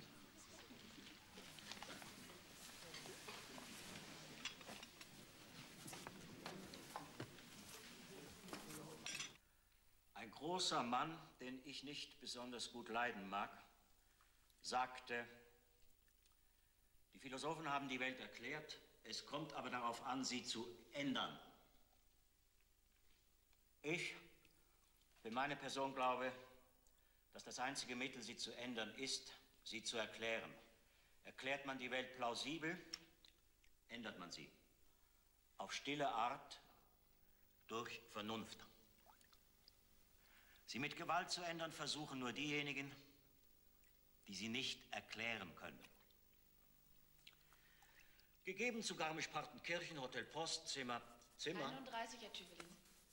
31. Danke. Datum und so weiter. Natürlich war es grober Unfug, dass Paul sich überhaupt als Geschworener zur Verfügung gestellt hat. Wir hatten auch schon einige Auseinandersetzungen zu diesem Thema. Ja. Der Anschein, dass ich am Urteil gegen Ihren Mann mit schuld sein könnte, der hat mich immer bedrückt. Aber Sie waren ja nicht der einzige Herr Hessreiter, der sein Votum abgegeben hat. Bin froh, wenn Sie das so sehen. Ich habe neulich schon den Eindruck gehabt, Gott sei Dank. In den nächsten Tagen wird in Garmisch der Kronprätendent erwartet. Und als begeisterter Schlittschuhläufer pflegt er im Hotel am Rissersee Quartier zu nehmen. Ich kann versuchen, für Sie ein Gespräch zu arrangieren. Ich wäre Ihnen sehr dankbar. Auf die Stimme seiner königlichen Hoheit wird immer noch gern gehört. Auch im Freistaat.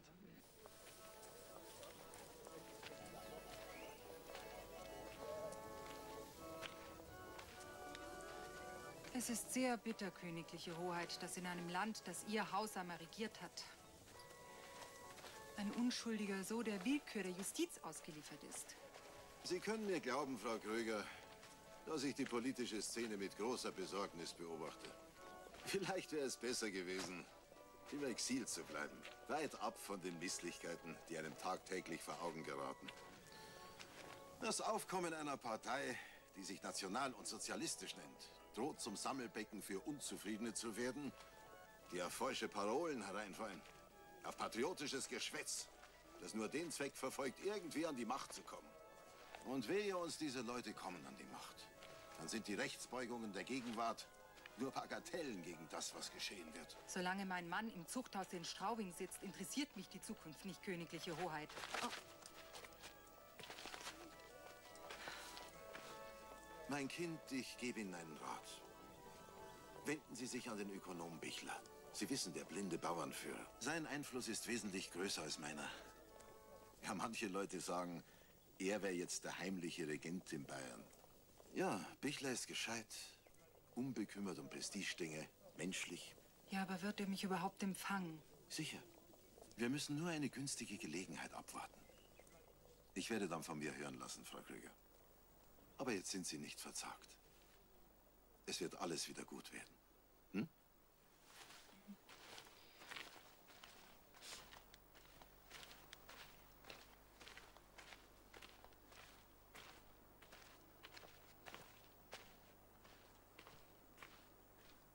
Herr Minister, bleiben Sie lange in Garmisch?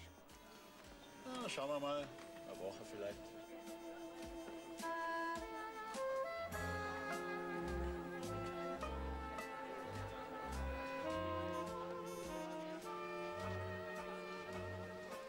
Haben die Herrschaften reserviert? Herr Zaunler hat uns gebeten. Ich sag dem Chef sofort Bescheid. Im Übrigen finde ich diesen Bröckel amüsant. Ein amüsanter Sozialist. Nebenbei verfasst er aufmüpfige Balladen, die er dann selber zur Laute vorträgt. Ich sag ja, amüsant. Herr Faundler, da ist jemand am Eingang, der behauptet, Sie hätten ihn eingeladen. Ah, der Herr Töferlin, danke.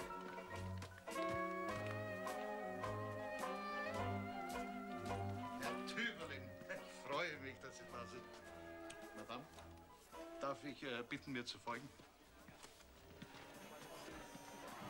Hoffe, Sie sind damit einverstanden, dass ich Sie am Tisch vom Herrn Kommerzienrat Hessreiter platziere. Hessreiter? Paul, Fabrikant, süddeutsche Keramik, Geschirr, Vasen, Kacheln, Gartenzwerge. Der Geschworene, von dem ich Ihnen erzählt habe.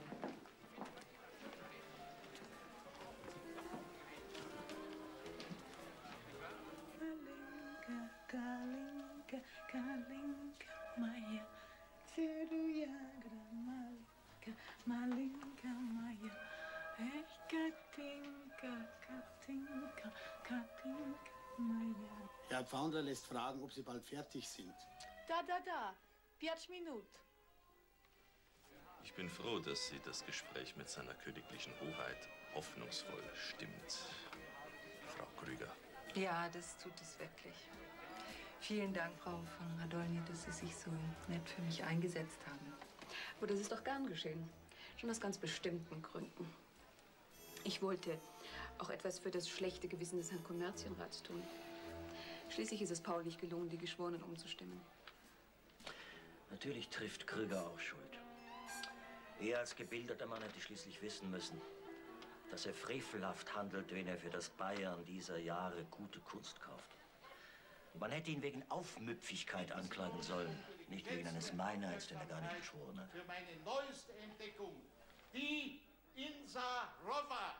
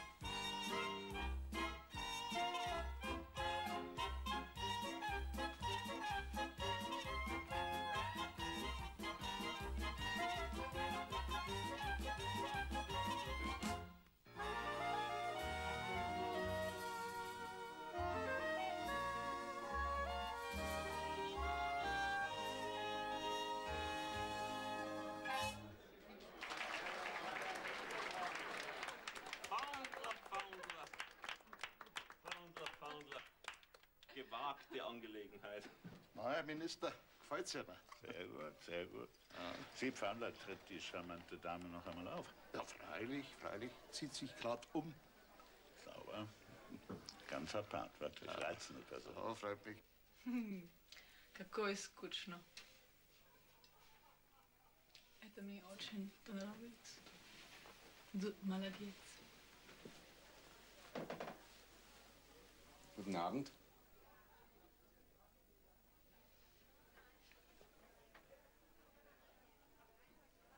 mich vorhin so deutlich fixiert.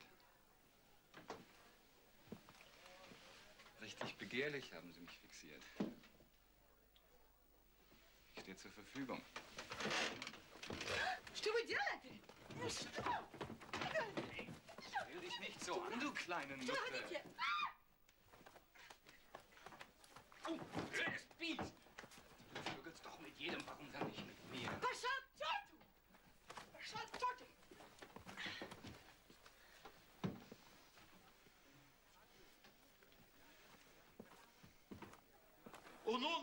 meine Herrschaften, auf geht's zum Chemie. Was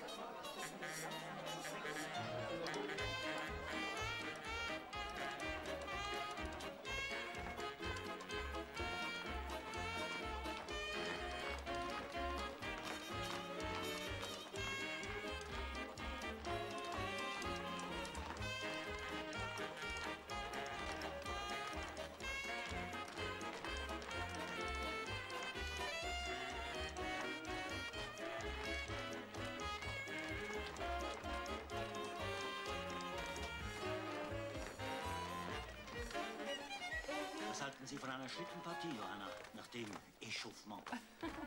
Oh, ich halte was davon. Das freut mich. Das freut mich sehr.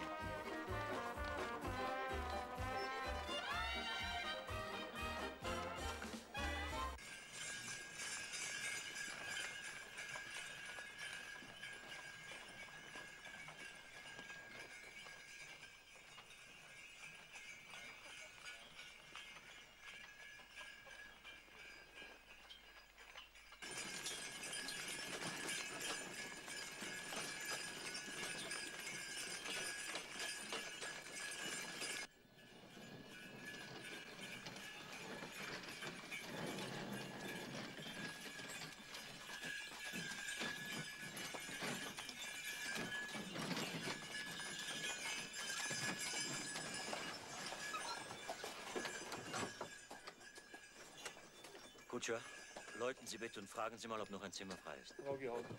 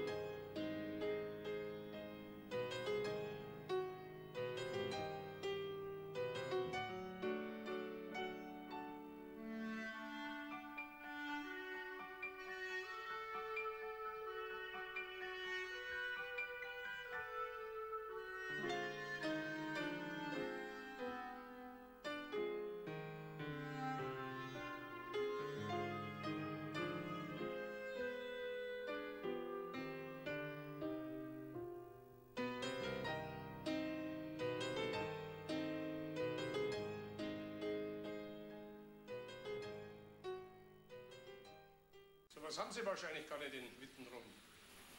Röcke. Das sind die Herren, die uns immer ärgern. Als Blech jeden Tag teurer wird, was uns runterschicken. Was bastelt denn da am Land? Ein neuer Motor. Ein neues Motorrad. Die alte Helios können wir bald nicht mehr verkaufen. Der B15 in Längsrichtung, kein Riemen, schlechter Radstand, das taugt nichts. Da hören Sie es, er weiß besser als ich. Übrigens, diese Maschine da wird den Motorradbau für die nächsten Jahrzehnte revolutionieren. Darauf können Sie sich verlassen. Mir soll es recht sein. Ach, Röckel, Sie haben mich doch neulich auf Ihren Freund Krüger angesprochen. Ja, allerdings. Ich habe Ihnen damals nichts Bestimmtes sagen können, weil ich gerade nach Moskau habe müssen. Sie, mit Ihren Genossen kann man viel schwere Geschäfte machen, lieber Bröckel. Die sind doktrinär und bauernschlau. Da ist eine gewisse Ähnlichkeit mit unseren Landsleuten. Vielleicht schicke ich Sie mal hin, Bröckel. Können Sie mir heute in Sachen Krüger was sagen? Er hat zwar mal behauptet, ich wäre ein Dreipfennig-Medici, aber das trage ich ihm nicht nach. Also, das Einzige, was ich für ihn tun kann, ist, dass ich schaue, dass sein Rechtsanwalt einen Termin kriegt bei Minister Klenk. Bitte, meine Herren. Servus, Bröckel. Servus. Arroganter Hirsch.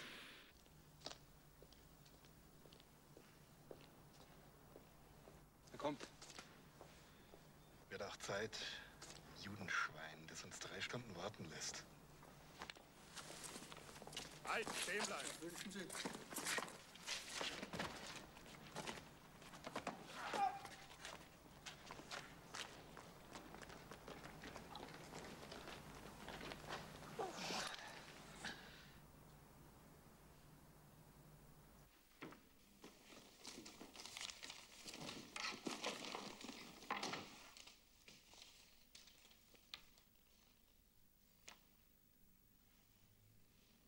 Das sind keine politischen Einlassungen.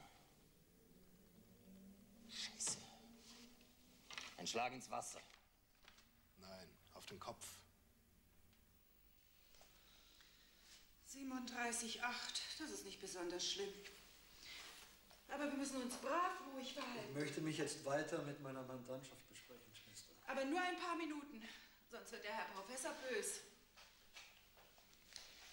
Haben Sie irgendeine Erklärung dafür, Doktor, warum man Sie überfallen hat? Mit solchen Ungelegenheiten muss ein jeder rechnen, der für eine Idee eintritt. Tätliche Angriffe gehören zum Risiko meines Berufs. Tut mir nur leid, dass ich den Termin beim Minister Klink nicht wahrnehmen kann, wenngleich ich mir nicht gerade viel davon versprochen habe. Gehe ich eben hin. Was sehen Sie für Möglichkeiten? Nachdem die Revisionsfrist auf Wunsch des Herrn Dr. Kröger ungenutzt verstrichen ist, kommt eine Wiederaufnahme nach Paragraph 359. Könnte ich mal einen Schluck Wasser? Mhm.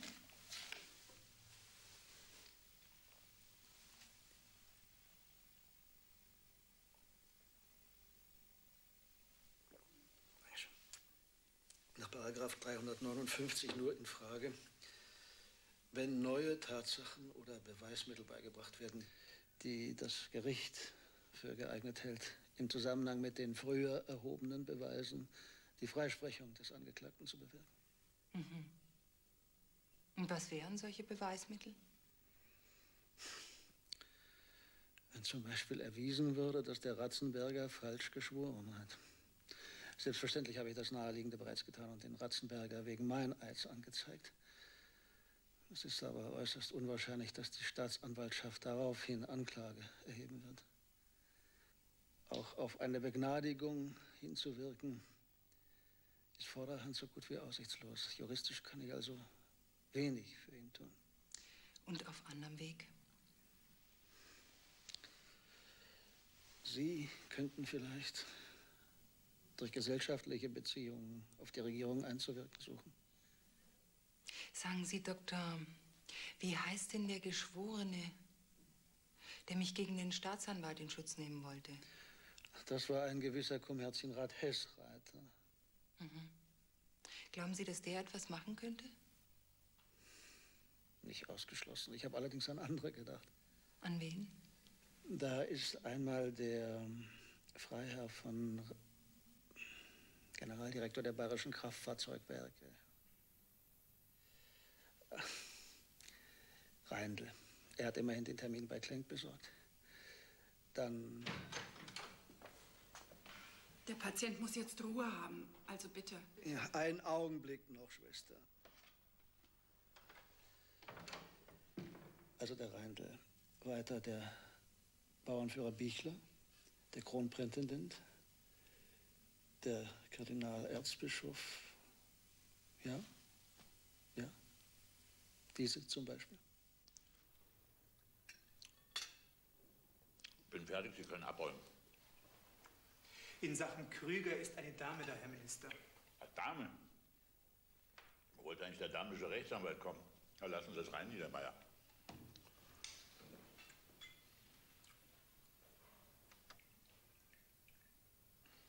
Der Herr Minister lässt bitten.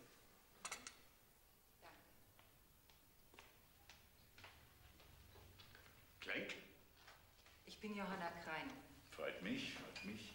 Ja, ich habe eigentlich den Dr. Geier erwartet, aber Sie sind mir bestimmt lieber. Bitte, nehmen Sie doch Platz. Fräulein Krein. Der Dr. Geier kann leider nicht kommen. Man hat ihn überfallen. Und jetzt liegt er im Nymphenburger Krankenhaus. Ja, um Gottes Willen. Warum denn das? Von wem denn? Wahrscheinlich von politischen Gegnern des Abgeordneten Geier. Ich werde mich persönlich um die Sache kümmern. Äh, Darf ich Ihnen ein Glas Sherry anbieten? Nein, danke. Ja, also, was kann ich für Sie tun, Fräulein Klein? Sie können dafür sorgen, dass der zu Unrecht verurteilte Dr. Martin Krüger vom Zuchthaus Straubing in seine Wohnung Elisabethstraße 3 zurückkehren kann. Zu Unrecht? Vielleicht, aber das Urteil ist rechtskräftig. Legal? Legal ist noch lange nicht legitim, Herr Minister. Es kann durchaus sein, das sage ich Ihnen vertraulich als Mensch, nicht als Minister. Es kann durchaus sein, dass der Dr. Krüger nicht falsch geschworen hat. Aber da ist halt Eid gegen Eid gestanden. Und die Geschworenen haben entschieden. Aber wenn Sie einen Justizirrtum nicht ausschließen können, dann müssen Sie doch etwas unternehmen, Herr Minister. Die Gerechtigkeit. Die Gerechtigkeit. Die Gerechtigkeit ist die Grundlage eines jeden Staates. Aber gerade darum muss eines jeden Staates Gerechtigkeit aus dem gleichen Stoff sein, wie eben der Staat selbst. Ich vertrete die Justizhoheit meines Landes mit Überzeugung und aus ganzem Herzen. Vielleicht wäre es im Sinne einer reinlichen Rechtspflege besser, wenn ich Klenk persönlich hinginge und sagen würde, du, Martin Krüger, bist schädlich für das Land Bayern. Ich muss dich also bedauerlicherweise erschießen. Das ist. Das ist eine ganz ungeheuerliche Bemerkung. Was regen Sie sich denn so auf, Fräulein Krein? Dazu sind Sie doch gar nicht legitimiert. Sie sind doch mit dem Krüger nicht verheiratet. Noch nicht.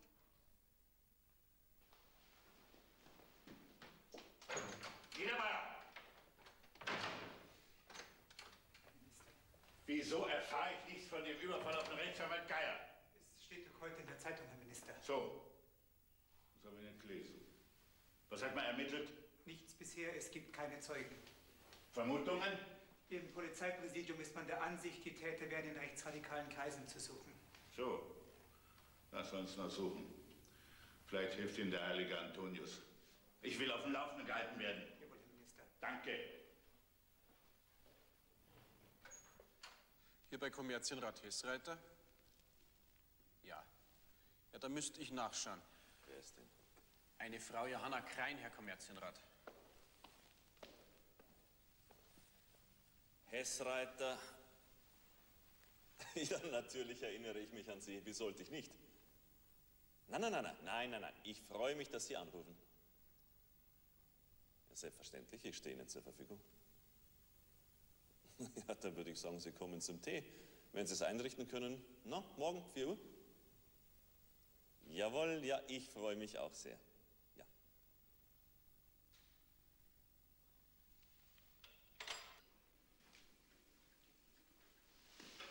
So, danke, Anton, ich mache das schon.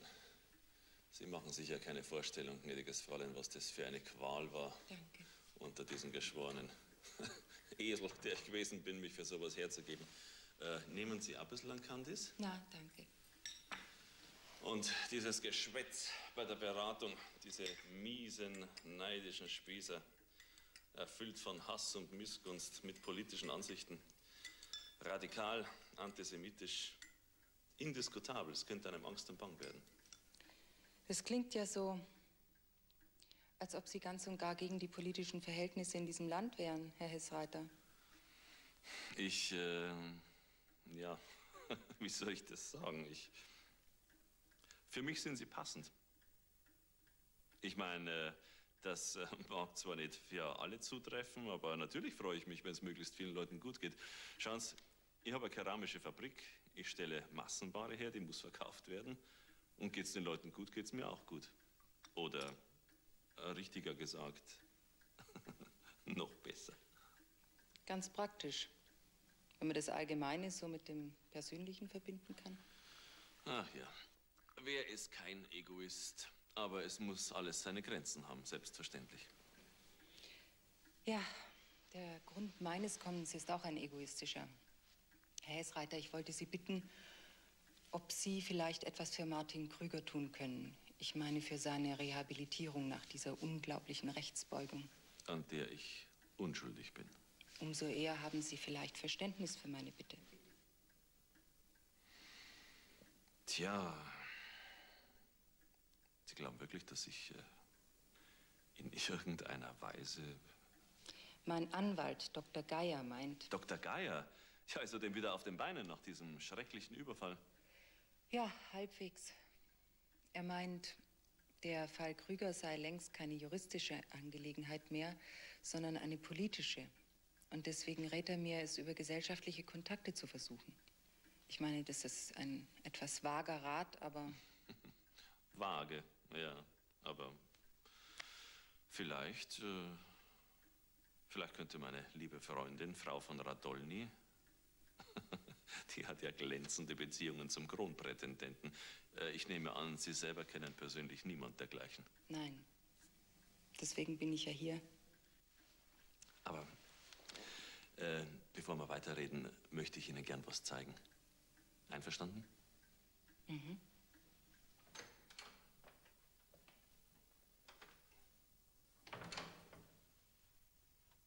Bitte einzutreten. Also, Herr Hessreiter, was denken Sie sich eigentlich? Ach so. Also, was ich Ihnen zeigen wollte, das hängt nochmal hier in meinem Schlafzimmer. Jetzt kommen Sie ruhig rein. Und drehen Sie sich um. Na, ist die Überraschung gelungen? Ich hab's nie gesehen. Wie finden Sie es denn?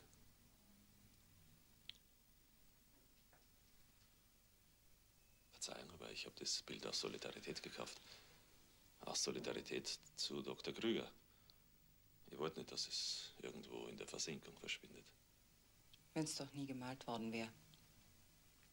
Ich werde es dem Krüger schenken, sobald er wieder in Freiheit ist. Das ist keine sehr gute Idee. Sie sollten im Winter für ein paar Wochen nach Garmisch fahren. Da können Sie mit aller Welt auf eine ganz zwanglose Art in Verbindung kommen. Und auch Frau von Radolny kennenlernen. Was berechtigt mich eigentlich zu all dem, was ich tue? Es ist doch ganz einfach. Ihre Liebe zu Krüger, die haben Sie ja vor Gericht so tapfer bekundet. Hier gilt doch nur, was vom Standesamt abgesegnet ist. Ich werde Krüger heiraten. Ich gratuliere Ihnen, Nummer 2478. Sie bekommen einen Antrag. Lieber Martin, ich halte es für angebracht, unser altes Projekt zur Ausführung zu bringen und unsere Beziehung durch eine Eheschließung zu legitimieren. Juristische Berater informieren mich, dass dem auch unter den gegenwärtigen Umständen nichts im Wege steht. Ich werde die nötigen vorbereitenden Schritte ab sofort erledigen. Bei unserer nächsten Zusammenkunft hoffe ich, dir Abschließendes mitteilen zu können. Sehr herzlich gegrüßt. Naja, die Unterschrift brauche ich Ihnen ja wohl nicht vorzulesen, Nummer 2478. Im Übrigen hat die Dame recht. Wir haben schon mehrere Eheschließungen unter diesen Umständen gehabt. Könnte ich den Brief mal sehen, bitte? Sie glauben wohl, ich habe ihn gefälscht, Herr Bräutigam.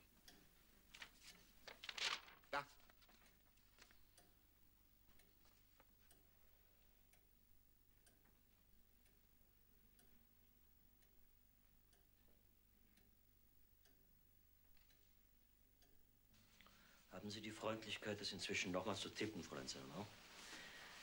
Ich bin dann am Nachmittag wieder da. Und äh, meine Einlassungen zur Geschichte der Stadt München bitte auf, auf blauem Papier archivieren. Wird gemacht, Herr Tübelin. Wenn der Verlag anruft, sind Sie irgendwo zu erreichen? Ja, im Zuchthaus Straubing. Wo bitte? Ja, ich trete dort als Trauzeuge auf. Für Fräulein Krein. Ein Akt tätiger Reue nach einer kleinen Kontroverse neulich.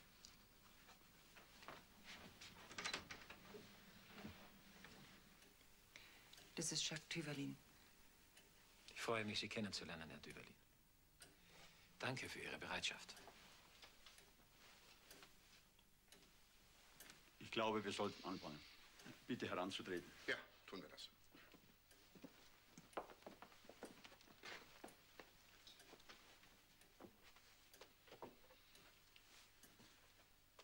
Ich frage Sie, Herr Dr. Martin Krüger, ist es Ihr freier Wille, Johanna Grein zur Ehefrau zu nehmen? So sagen Sie ja. Ja. Ich frage Sie, Fräulein Johanna Grein, ist es Ihr freier Wille, den Dr. Martin Krüger zum Ehemann zu nehmen? So sagen Sie ja. Ja.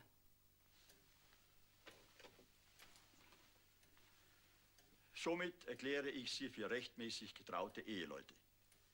Und Ihre Unterschrift bitte. Zuerst Ehemann.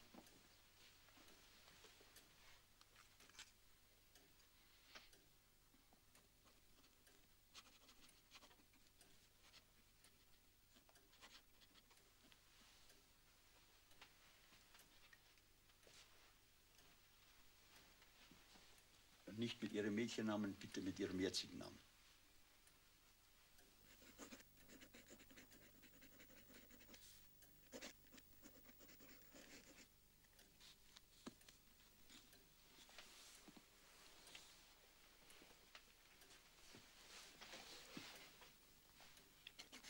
Wie ist es, Herr Direktor, mit dem Vollzug dieser Ehe?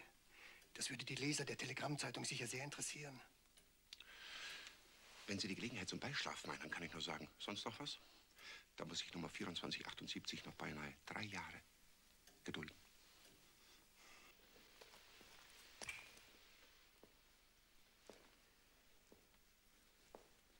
Neuerdings ist mir öfter mal Lektüre genehmigt.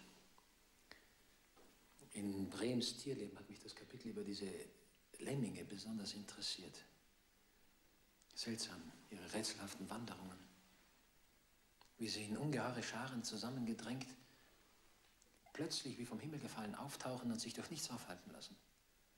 Durch keinen Fluss, keinen See, selbst durch das Meer nicht. Das beschäftigt mich sehr. Nach Bremen ist es nicht richtig, dass Nahrungsmangel der Grund für diese Völkerwanderung ist. Ich glaube das auch nicht. Ein Tierfilm möchte ich gern mal wieder sehen. Überhaupt Kino, bewegte Bilder. Der Kaspar Bröckler hat bei seinem letzten Besuch hier die Theorie aufgestellt, der Film müsse die Aufnahmefähigkeit des Beschauers für das ruhende Bild der Malerei nachdrücklich verändern. Vielleicht hat er recht. Ich habe übrigens den Direktor gebeten, dass ich ein paar Stunden am Tag schreiben darf. Über die Spanier. In der Erinnerung und ohne die unmittelbare Anschauung ist Goya am faszinierendsten. Und das will ich festhalten. Es könnte eigenartig werden. Wer von meinen Kollegen hat schon die Gelegenheit, wie ich, die Abgeschiedenheit des Zuchthauses zu genießen? Martin, ich werde im Februar für zwei Wochen nach Garmisch gehen. Man hat mir dazu geraten. Und in Garmisch treffen sich derzeit alle wichtigen Leute, auch Leute, die für dich wichtig sind, Martin. Tja, wenn du glaubst, dass du dort etwas für mich tun kannst, Johanna, tu's. Das zieht manchmal ein bisschen im linken Arm. Der Anstaltsarzt hat mir ein Nitroglycerinpräparat verschrieben. Aber das ist doch ein Herzmittel. Ja, sicher nur eine vorübergehende Malaise. Ich habe da keine Bedenken. Goya übrigens ist selbst ein Stück Revolution. Die Beteiligung der Kunst an den politischen Geschicken ist bei ihm Wirklichkeit. Was er mit seiner Malerei über die Geschichte Spaniens erzählt, das sind Bruchstücke, die das eigene Erlebnis wie ein Blitz beleuchtet. Erinnerst du dich an Madrid, Johanna?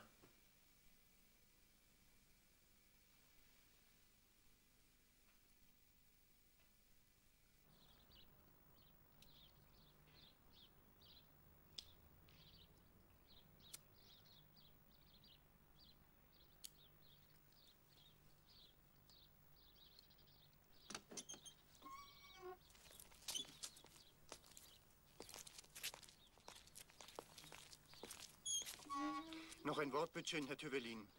Ja? Herr Tüvelin, ich kenne Ihre Bücher. Erfreulich. Coriolan gefällt mir am besten. Da nehmen Sie die Philister ganz schön aufs Korn.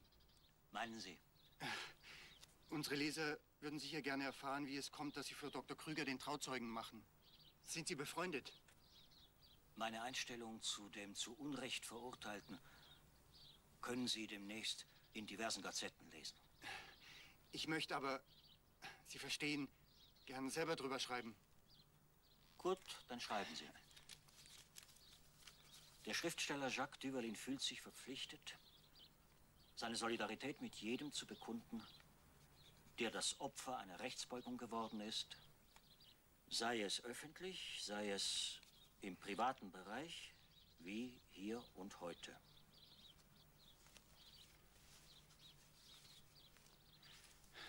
Danke. Bitte. Der Tüferlin hat seinen Artikel über deinen Fall einer internationalen Presseagentur übergeben. Und ich bin sicher, dass er jetzt in allen wichtigen Zeitungen erscheinen wird. Den ist wirklich gut. Viertel nach eins. Die Sprechzeit ist leider um. Ich muss Ihnen bitten, Frau Krüger.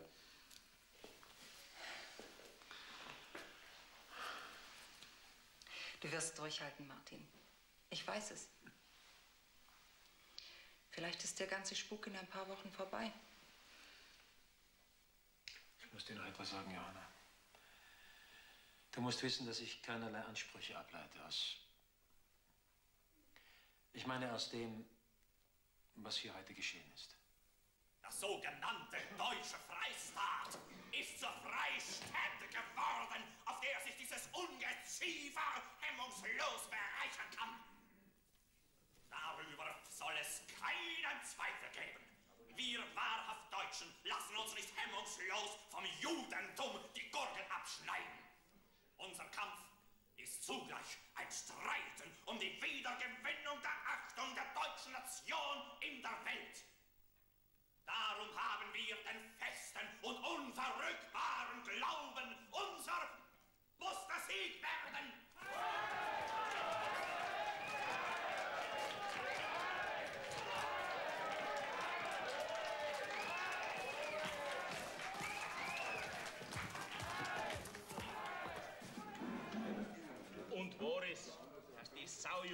Sind an allem.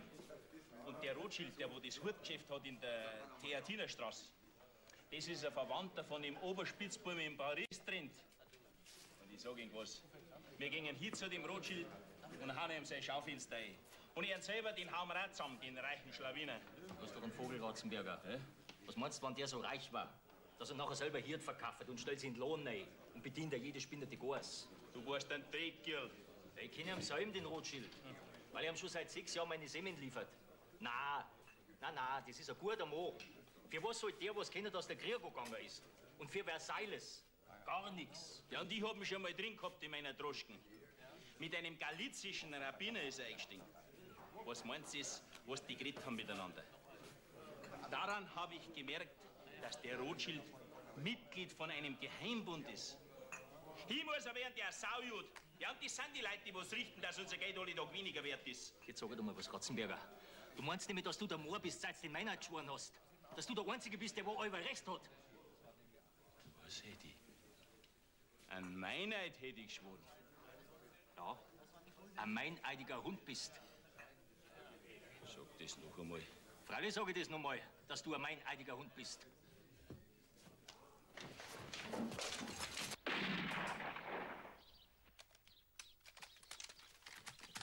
Kameraden, einer unserer Besten ist von feiger Mörderhand gefallen. Ein kommunistischer Hundsfront hat sein Leben ausgelöscht, weil Kamerad Ratzenberger den jüdischen Erzfeind angeprangert hat. Weil er gesagt hat, was wahr ist. Dass nämlich die Juden und das Zinskapital unser Unglück sind.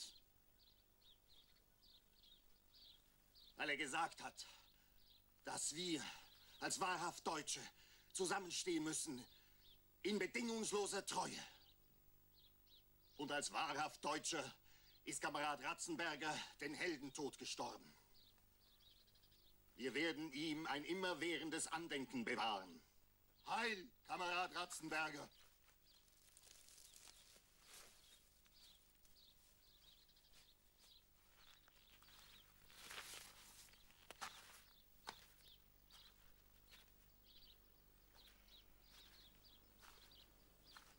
Du fielst von schnöder Mörderhand in deinen besten Jahren.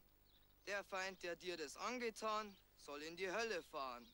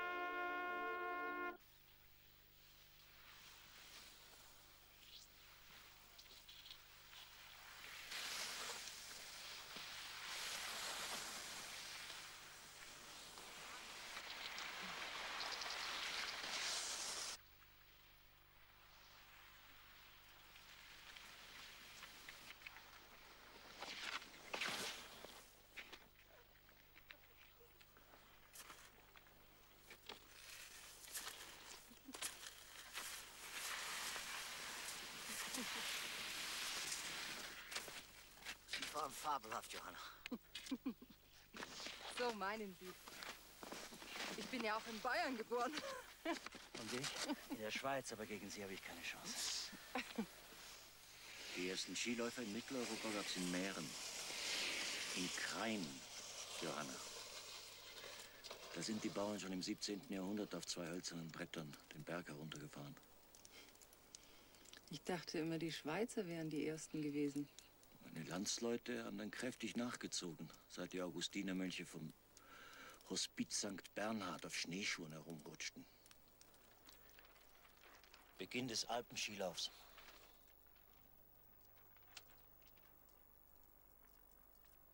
Übrigens stelle ich fest, dass Sie Ihren Mann heute noch gar nicht erwähnt haben. So? Wann haben Sie ihn das letzte Mal gesehen? Ich bin nur einmal da gewesen, seit wir verheiratet sind. Und? Er war mir sehr fremd in seiner Verzagtheit. Manche reden davon, dass Leiden den Menschen besser mache, sagt er. Ihn nicht, sagt er. Vielleicht unter freiem Himmel, sagt er.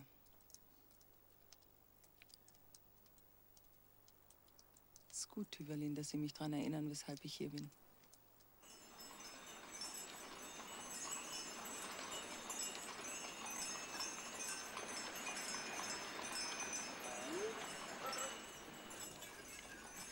Bitte? Bitte sehr. Bis heute Abend. Mhm. Hier. Okay. Servus, Brückel. Nehmen Sie Platz. Bedienen Sie sich. Ich treffe mich hier in Garmisch mit ein paar Amerikanern. Vielleicht ergibt sich dabei die Gelegenheit, dass das Projekt mit Ihrem neuen Motorrad auf eine breitere Basis gestellt wird. Kooperativ sozusagen. Weltweit, nicht wahr? Soll ich den Herrn technische Erläuterungen geben? Oh, das ist nicht notwendig.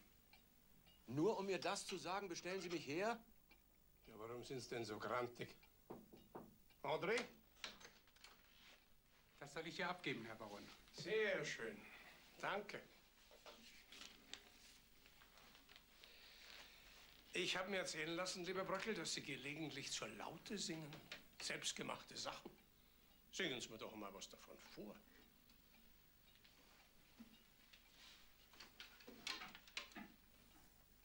Wie heißt der Paragraph 1 unserer Verfassung, Herr von Reindl? Er heißt, die Staatsgewalt geht vom Volke aus. Aber wo geht sie hin? Ja, wo geht sie wohl hin? Irgendwo geht sie doch hin. Der Polizist geht aus dem Haus, aber wo geht er hin? Ja, wo geht er bloß hin? Seht, jetzt marschiert das große Trumm. Aber wo marschiert es hin? Ja, wo marschiert es wohl hin? Irgendwo marschiert es doch hin. Jetzt schwenkt es um das Haus herum. Aber wo schwenkt es hin? Ja, wo schwenkt es bloß hin? Die Staatsgewalt macht plötzlich Halt. Da sieht sie etwas stehen. Was sieht sie denn da stehen? Da sieht sie etwas stehen. Und plötzlich schreit die Staatsgewalt. Sie schreit, auseinandergehen! Warum auseinandergehen? Sie schreit, auseinandergehen. Ihr Geschmack, Herr von Reindl? Bravo. Weiter. Da steht so etwas zusammengeballt und etwas fragt warum. Warum fragt es denn warum? Da fragt sowas warum? Da schießt natürlich die Staatsgewalt und da fällt so etwas um. Was, fällt denn da so um? Warum fällt es denn gleich um? Die Staatsgewalt sieht, da liegt was im Kot. Irgendwas liegt im Kot. Was liegt denn da im Kot? Irgendwas liegt doch im Kot. Da liegt etwas wie Mause tot. Aber das ist ja das Volk. Ist denn das wirklich das Volk? Ja, das ist wirklich das Volk.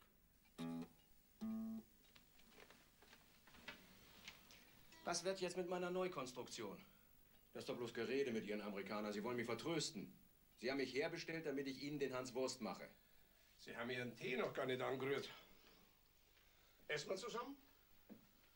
Das glaube ich nicht. Darf ich Ihnen das hier schenken? Shakespeares Sonette. Gibt's da nicht auch einen Privatdruck von Ihren Balladen? Ja, in 20 Exemplaren. Könnte ich da eins haben? Ich biete 100 englische Pfund. Sie meinen, da kann ich mir beinahe ein Haus davon kaufen, aber die Dinger sind unverkäuflich. Danke. Habe die Ehre, Herr von Reindl. Lassen Sie Ihre Hotelrechnung auf mein Zimmer schreiben.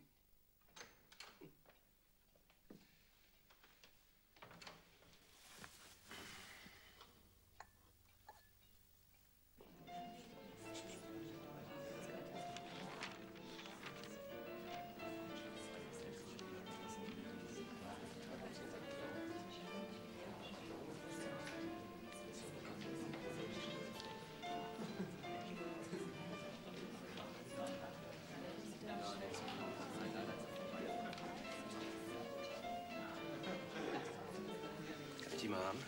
Nein. Vielleicht später. Wann? Vielleicht in einer Stunde, vielleicht in zwei. Wenn die Dame erschienen ist, auf die ich hier warte. Oh, ich rate Ihnen ab. Falls Sie kein Jiu-Jitsu können, ist das aussichtslos. Es sei denn, Sie sind ernsthaft politisch interessiert. Sind Sie das? Sicher mehr als Sie. Dann können Sie sie gleich lesen.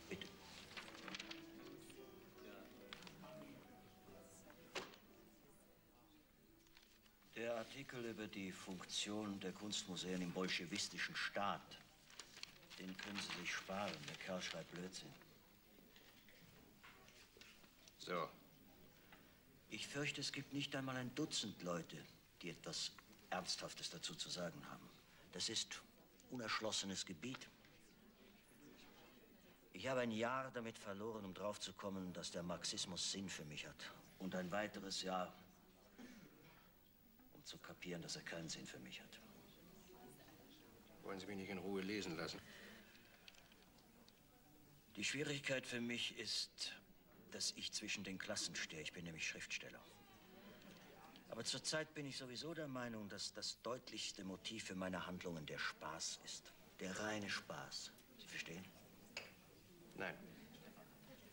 Es gibt eine gewisse Glorifizierung des Spaßes in einem antiken Theaterstück. Darin ist der Spaß ungefähr aufgefasst als Kreuzung und Durchkreuzung der zivilisatorischen Vernunft durch den Naturtrieb. Pentheus gegen Bacchus. Das Stück ist von Euripides und heißt Die Backchen. Kennen Sie das zufällig? Ich kenne es nicht. Aber ich gebe Ihnen zu, dass dieser Artikel ein Schmarrn ist. Was haben Sie da gerade über Spaß gequatscht? Ich wollte eigentlich nur sagen, dass ich nicht so anmaßend bin, meinen Spaß, das heißt, also das, was ich schreibe, als verbindlich auch für andere zu erklären. Unverbindlichkeit ist eine Todsünde. Aha, das Diktat der Verbindlichkeit. Wissen Sie, das überlasse ich anderen. Machtmenschen, Politikern, Pfaffen, Hohlköpfen. Und Schriftstellern, die sich mit Recht zu nennen, weil sie Dokumente der Zeit machen. Das ist ihre Funktion, sonst nichts. Die Menschen in diesem Staat sind gespalten in zwei Klassen, die sich bekriegen. Der Klassenkampf ist der einzig gegebene Gegenstand für einen Schriftsteller. Vor dem kann er sich nicht drücken. Sonst ist seine Existenz ohne Sinn. Ja, schauen Sie hin. Der schiere Strich. Das lasterhafte Tal. Shakespeare oder Johannes R. Becher? Keiner von beiden. Wer? Das ist wurscht. Stimmt jedenfalls. Übrigens heiße ich Bröckel. Kaspar Bröckel. Jacques Duverly. Ach so, der. Ja. Cognac? Ja. Herr Ober. Zwei Cognac, bitte. Große. Was machen Sie denn in Garmisch, Herr Bröckel? Per Order Mufti. Ich bin bei den Bayerischen Motorenwerken beschäftigt, aber nicht mehr lange. Der Alte geht mir auf die Nerven. Baron Reindl? Mhm. Was halten Sie von der Literatur der Aufklärung, Herr Bröckel? Nix. Verstaubtes Zeug. Sie halten also nichts von den Idealen der Freiheit, Vernunft, der Güte. Was nützt die Güte, wenn die Gütigen erschlagen werden? Oder man erschlägt die, zu denen die Gütigen gütig sind. Was nützt die Freiheit, wenn die, die frei sind, unter den Unfreien leben müssen? Was nützt die Vernunft, wenn bloß der Unvernünftige etwas zu fressen hat? Anstatt nur vernünftig zu sein, müssen wir dafür sorgen, dass die Unvernunft zu einem schlechten Geschäft wird. Anstatt nur gütig zu sein, müssen wir einen Zustand schaffen, der die Güte überflüssig macht. Und anstatt von Freiheit zu faseln, müssen wir einen Zustand schaffen, der sogar die Liebe zur Freiheit überflüssig macht, weil alle frei sind. Und das wäre dann die normative Kraft des Faktischen. Ihre Theorie ist etwas eingleisig, Herr Bröckel. So, meinen Sie? Ah, der Cognac. Danke. Also, Herr Bröckel. Wie wohl?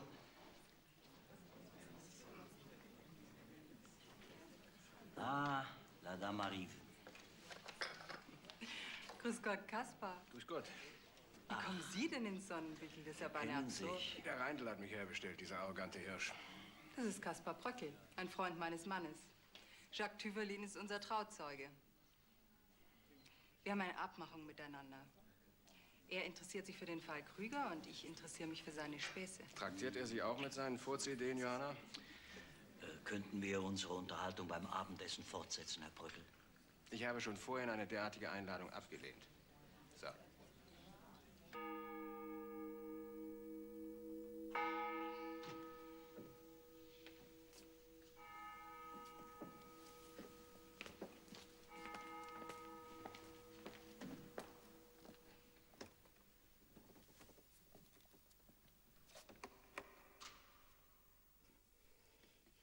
Gelobt sei Jesus Christus. In Ewigkeit. Amen. Ich habe erst gestern Beicht bei Ihnen hochwerden. So, sind Sie jetzt schon wieder da. Ja, weil ich gestern was nicht gesagt habe und überhaupt noch nie. Was denn?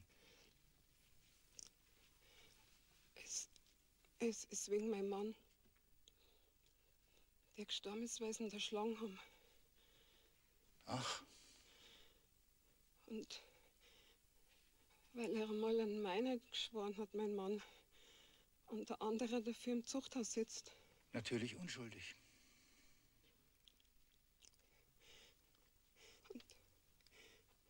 Und ich hab mir gedacht, dass mein Mann jetzt im Fegfeuer, dass er deswegen in die Flammen schmachtet.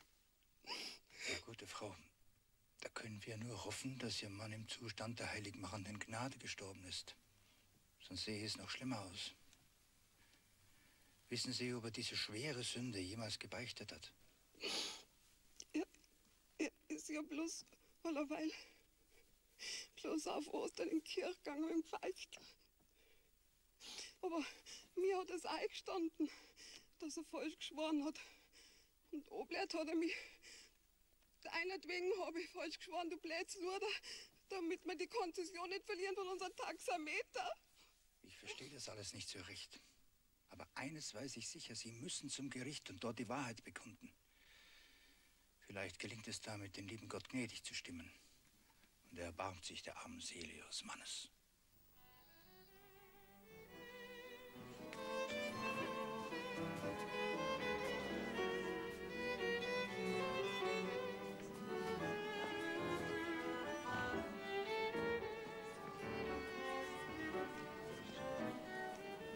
Natürlich kann das Eingeständnis der Witwe Ratzenberger die Einleitung. Wie gesagt, es kann die Einleitung einer Wende bedeuten, aber wir dürfen die Sache nicht zu optimistisch sehen. Aber wieso denn nicht? Damit ist doch erwiesen, dass Martin unschuldig ist. Fräulein Krein. Pardon, Frau Krüger. Ein Wiederaufnahmeverfahren in die Wege zu leiten, ist eine schwierige Angelegenheit und in diesem Falle beinahe aussichtslos. Das verstehe ich nicht. Über die Zulassung eines Antrags auf Wiederaufnahme entscheidet nach Paragraf 367 der Strafprozessordnung das Gericht, dessen Urteil mit dem Antrag angefochten wird. Hier also jenes bayerische Gericht, das Ihren Mann verurteilt hat. Ich müsste nachweisen, dass sich der Zeuge Ratzenberger mit der Beeidigung seiner Aussage einer vorsätzlichen oder fahrlässigen Verletzung der Eidespflicht schuldig gemacht hat. Gemeinhin anerkennen die Gerichte in einem solchen Fall Meineid, aber nur, wenn er äh, bekräftigt ist durch eine Verurteilung des fraglichen Zeugen. Der fragliche Zeuge Ratzenberger befindet sich derzeit aber im Fegefeuer, wenn nicht äh, noch anderswo. Einen Verstorbenen kann man mitunter rehabilitieren, aber eine posthume Verurteilung gibt es leider nicht. Glauben Sie denn, der feine Herr Landgerichtsdirektor Hartl, von dem Sie ja einen ganz persönlichen Eindruck haben, wird die eidesstattliche Erklärung der Witwe Ratzenberger als hinreichenden Nachweis im Sinne des Gesetzes gelten lassen? Ich denke nein. Auf alle Fälle wird etliche Zeit verstreichen, bis ich das Material herbeigeschafft habe, um den Antrag juristisch genügend zu fundieren. Ich empfehle Ihnen also weiterhin hier in Garmisch aktiv zu sein, Frau Kröger.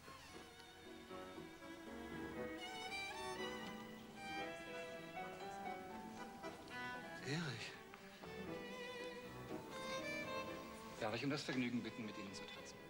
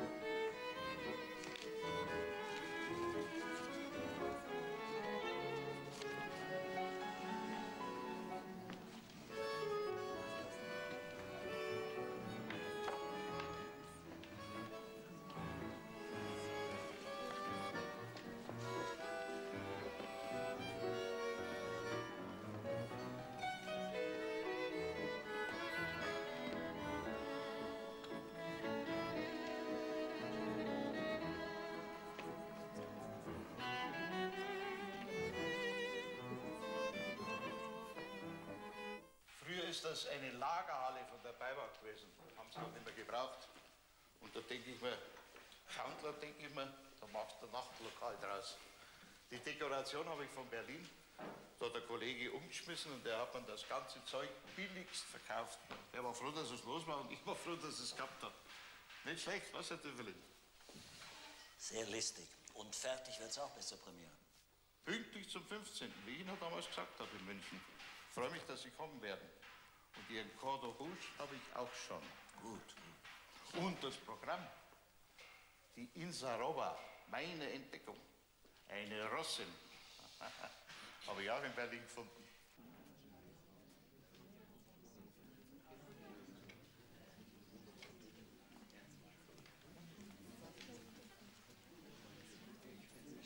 Garmisch ist ja nicht sehr groß. Wir sehen uns sicher wieder.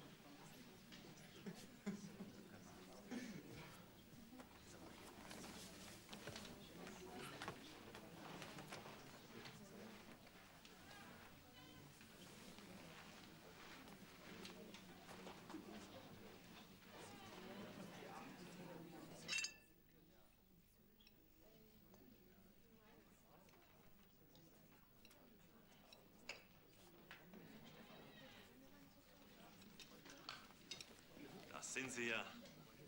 Freue mich, dass Sie meinem Ratschlag gefolgt sind. Ach, Herr Hessreiter. Ja, soeben angetroffen und nicht allein. Darf ich die Dame bekannt machen? Das ist Johanna Krein und hier ist meine liebe Freundin Katharina Radolny. Grüße Sie, Fräulein Krein. Ich heiße jetzt Krüger, Ach, haben Sie es also wahr gemacht. Dürfen wir uns ein bisschen zu Ihnen hersetzen? aber gern.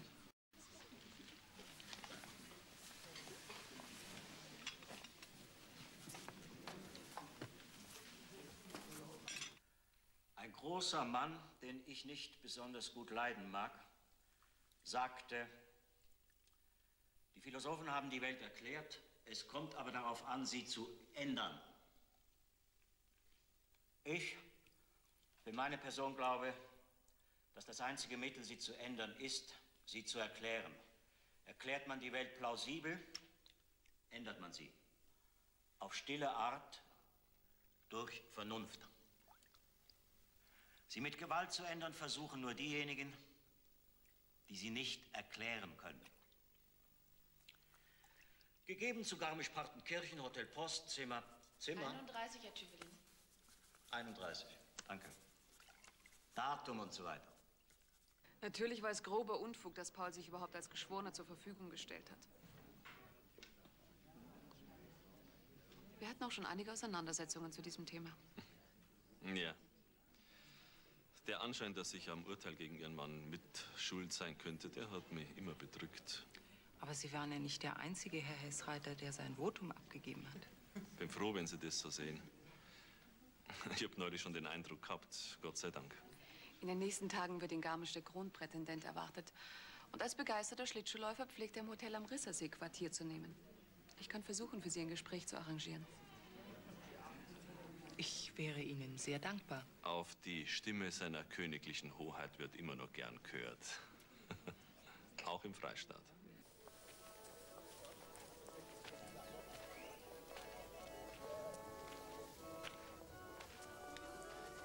Es ist sehr bitter, königliche Hoheit, dass in einem Land, das Ihr Haus einmal regiert hat, ein Unschuldiger so der Willkür der Justiz ausgeliefert ist.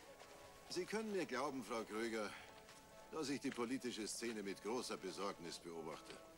Vielleicht wäre es besser gewesen, im Exil zu bleiben. Weit ab von den Misslichkeiten, die einem tagtäglich vor Augen geraten. Das Aufkommen einer Partei, die sich national und sozialistisch nennt, droht zum Sammelbecken für Unzufriedene zu werden, die auf falsche Parolen hereinfallen, auf patriotisches Geschwätz, das nur den Zweck verfolgt, irgendwie an die Macht zu kommen. Und wehe uns, diese Leute kommen an die Macht. Dann sind die Rechtsbeugungen der Gegenwart nur Bagatellen gegen das, was geschehen wird. Solange mein Mann im Zuchthaus in Straubing sitzt, interessiert mich die Zukunft nicht, königliche Hoheit. Oh,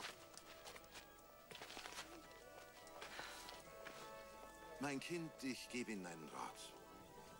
Wenden Sie sich an den Ökonom Bichler. Sie wissen, der blinde Bauernführer. Sein Einfluss ist wesentlich größer als meiner. Ja, manche Leute sagen, er wäre jetzt der heimliche Regent in Bayern. Ja, Bichler ist gescheit, unbekümmert um Prestigedinge, menschlich. ja, aber wird er mich überhaupt empfangen? Sicher. Wir müssen nur eine günstige Gelegenheit abwarten. Ich werde dann von mir hören lassen, Frau Krüger. Aber jetzt sind Sie nicht verzagt. Es wird alles wieder gut werden.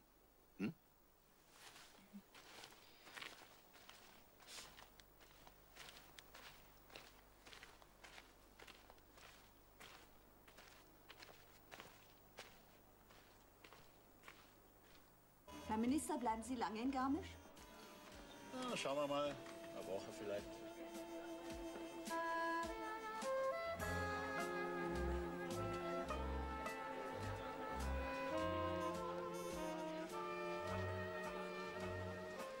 Haben die Herrschaften reserviert? Herr Pfaundler hat uns gebeten. Ich sag dem Chef sofort Bescheid. Im Übrigen finde ich diesen Bröckel amüsant. Ein amüsanter Sozialist. Nebenbei verfasst er aufmüpfige Balladen, die er dann selber zur Laute vorträgt. Ich sag ja, amüsant. Herr Faundler, da ist jemand am Eingang, der behauptet, Sie hätten ihn eingeladen. Ah, der Herr Töferlin, danke.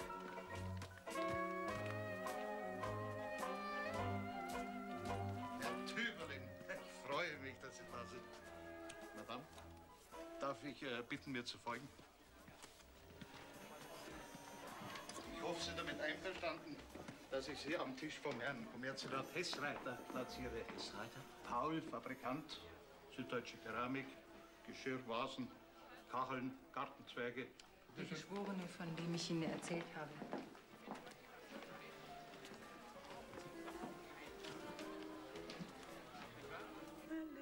Kalinka, Kalinka, Kalinka, Maya, Seruya Malinka Maya. Hey, Katinka, Katinka, Katinka Maya. Herr Pfaunder lässt fragen, ob Sie bald fertig sind. Da, da, da. Pięć minut. Ich bin froh, dass Sie das Gespräch mit seiner königlichen Hoheit hoffnungsvoll stimmt, Frau Krüger. Ja, das tut es wirklich. Vielen Dank, Frau von Radolny, dass Sie sich so nett für mich eingesetzt haben. Aber das ist doch gern geschehen. Schon aus ganz bestimmten Gründen. Ich wollte auch etwas für das schlechte Gewissen des Herrn Kommerzienrats tun. Schließlich ist es Paul nicht gelungen, die Geschworenen umzustimmen. Natürlich trifft Krüger auch Schuld. Er als gebildeter Mann hätte schließlich wissen müssen, dass er frevelhaft handelt, wenn er für das Bayern dieser Jahre gute Kunst kauft. Man hätte ihn wegen Aufmüpfigkeit anklagen sollen, nicht wegen eines Meineits, den er gar nicht geschworen hat. Für meine neueste Entdeckung, die Insa Rova. Ein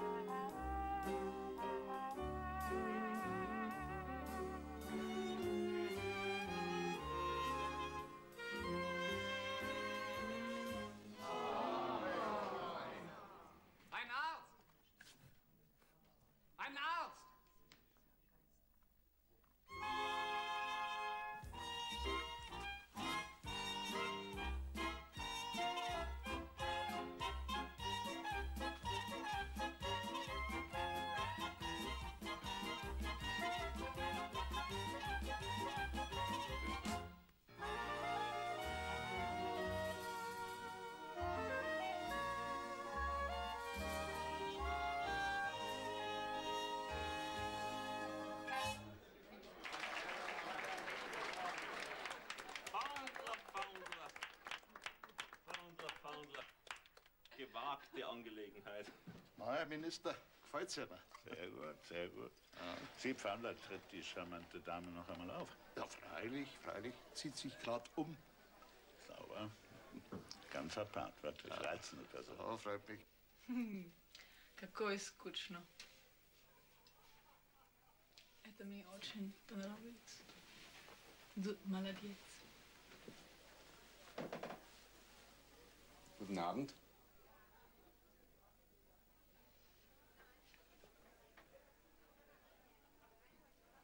mich vorhin so deutlich fixiert. Richtig begehrlich haben Sie mich fixiert. Ich stehe zur Verfügung. Что вы делаете? Stell dich nicht so an, du kleine Что Nutte. хотите? Oh, blödes Biest! Du vögelst doch mit jedem, warum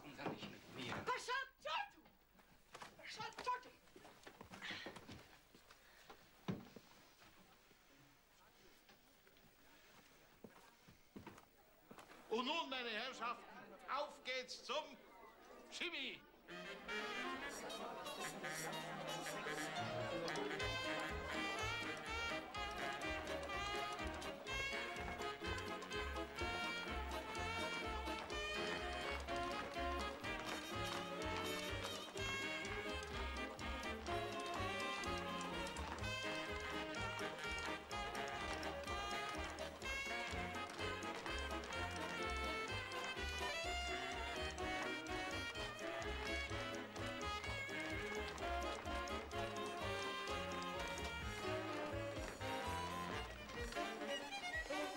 Sie von einer Schlittenpartie, Johanna, nach dem Echauffement?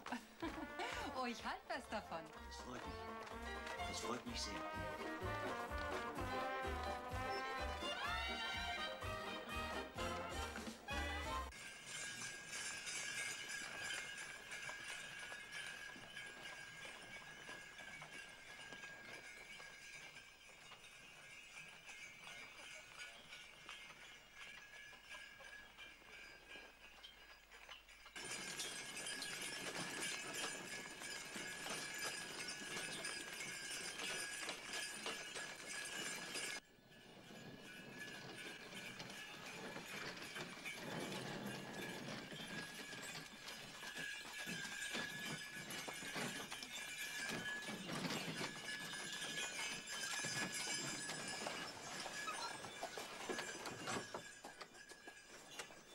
Kutscher, läuten Sie bitte und fragen Sie mal, ob noch ein Zimmer frei ist. Frau Gehauen.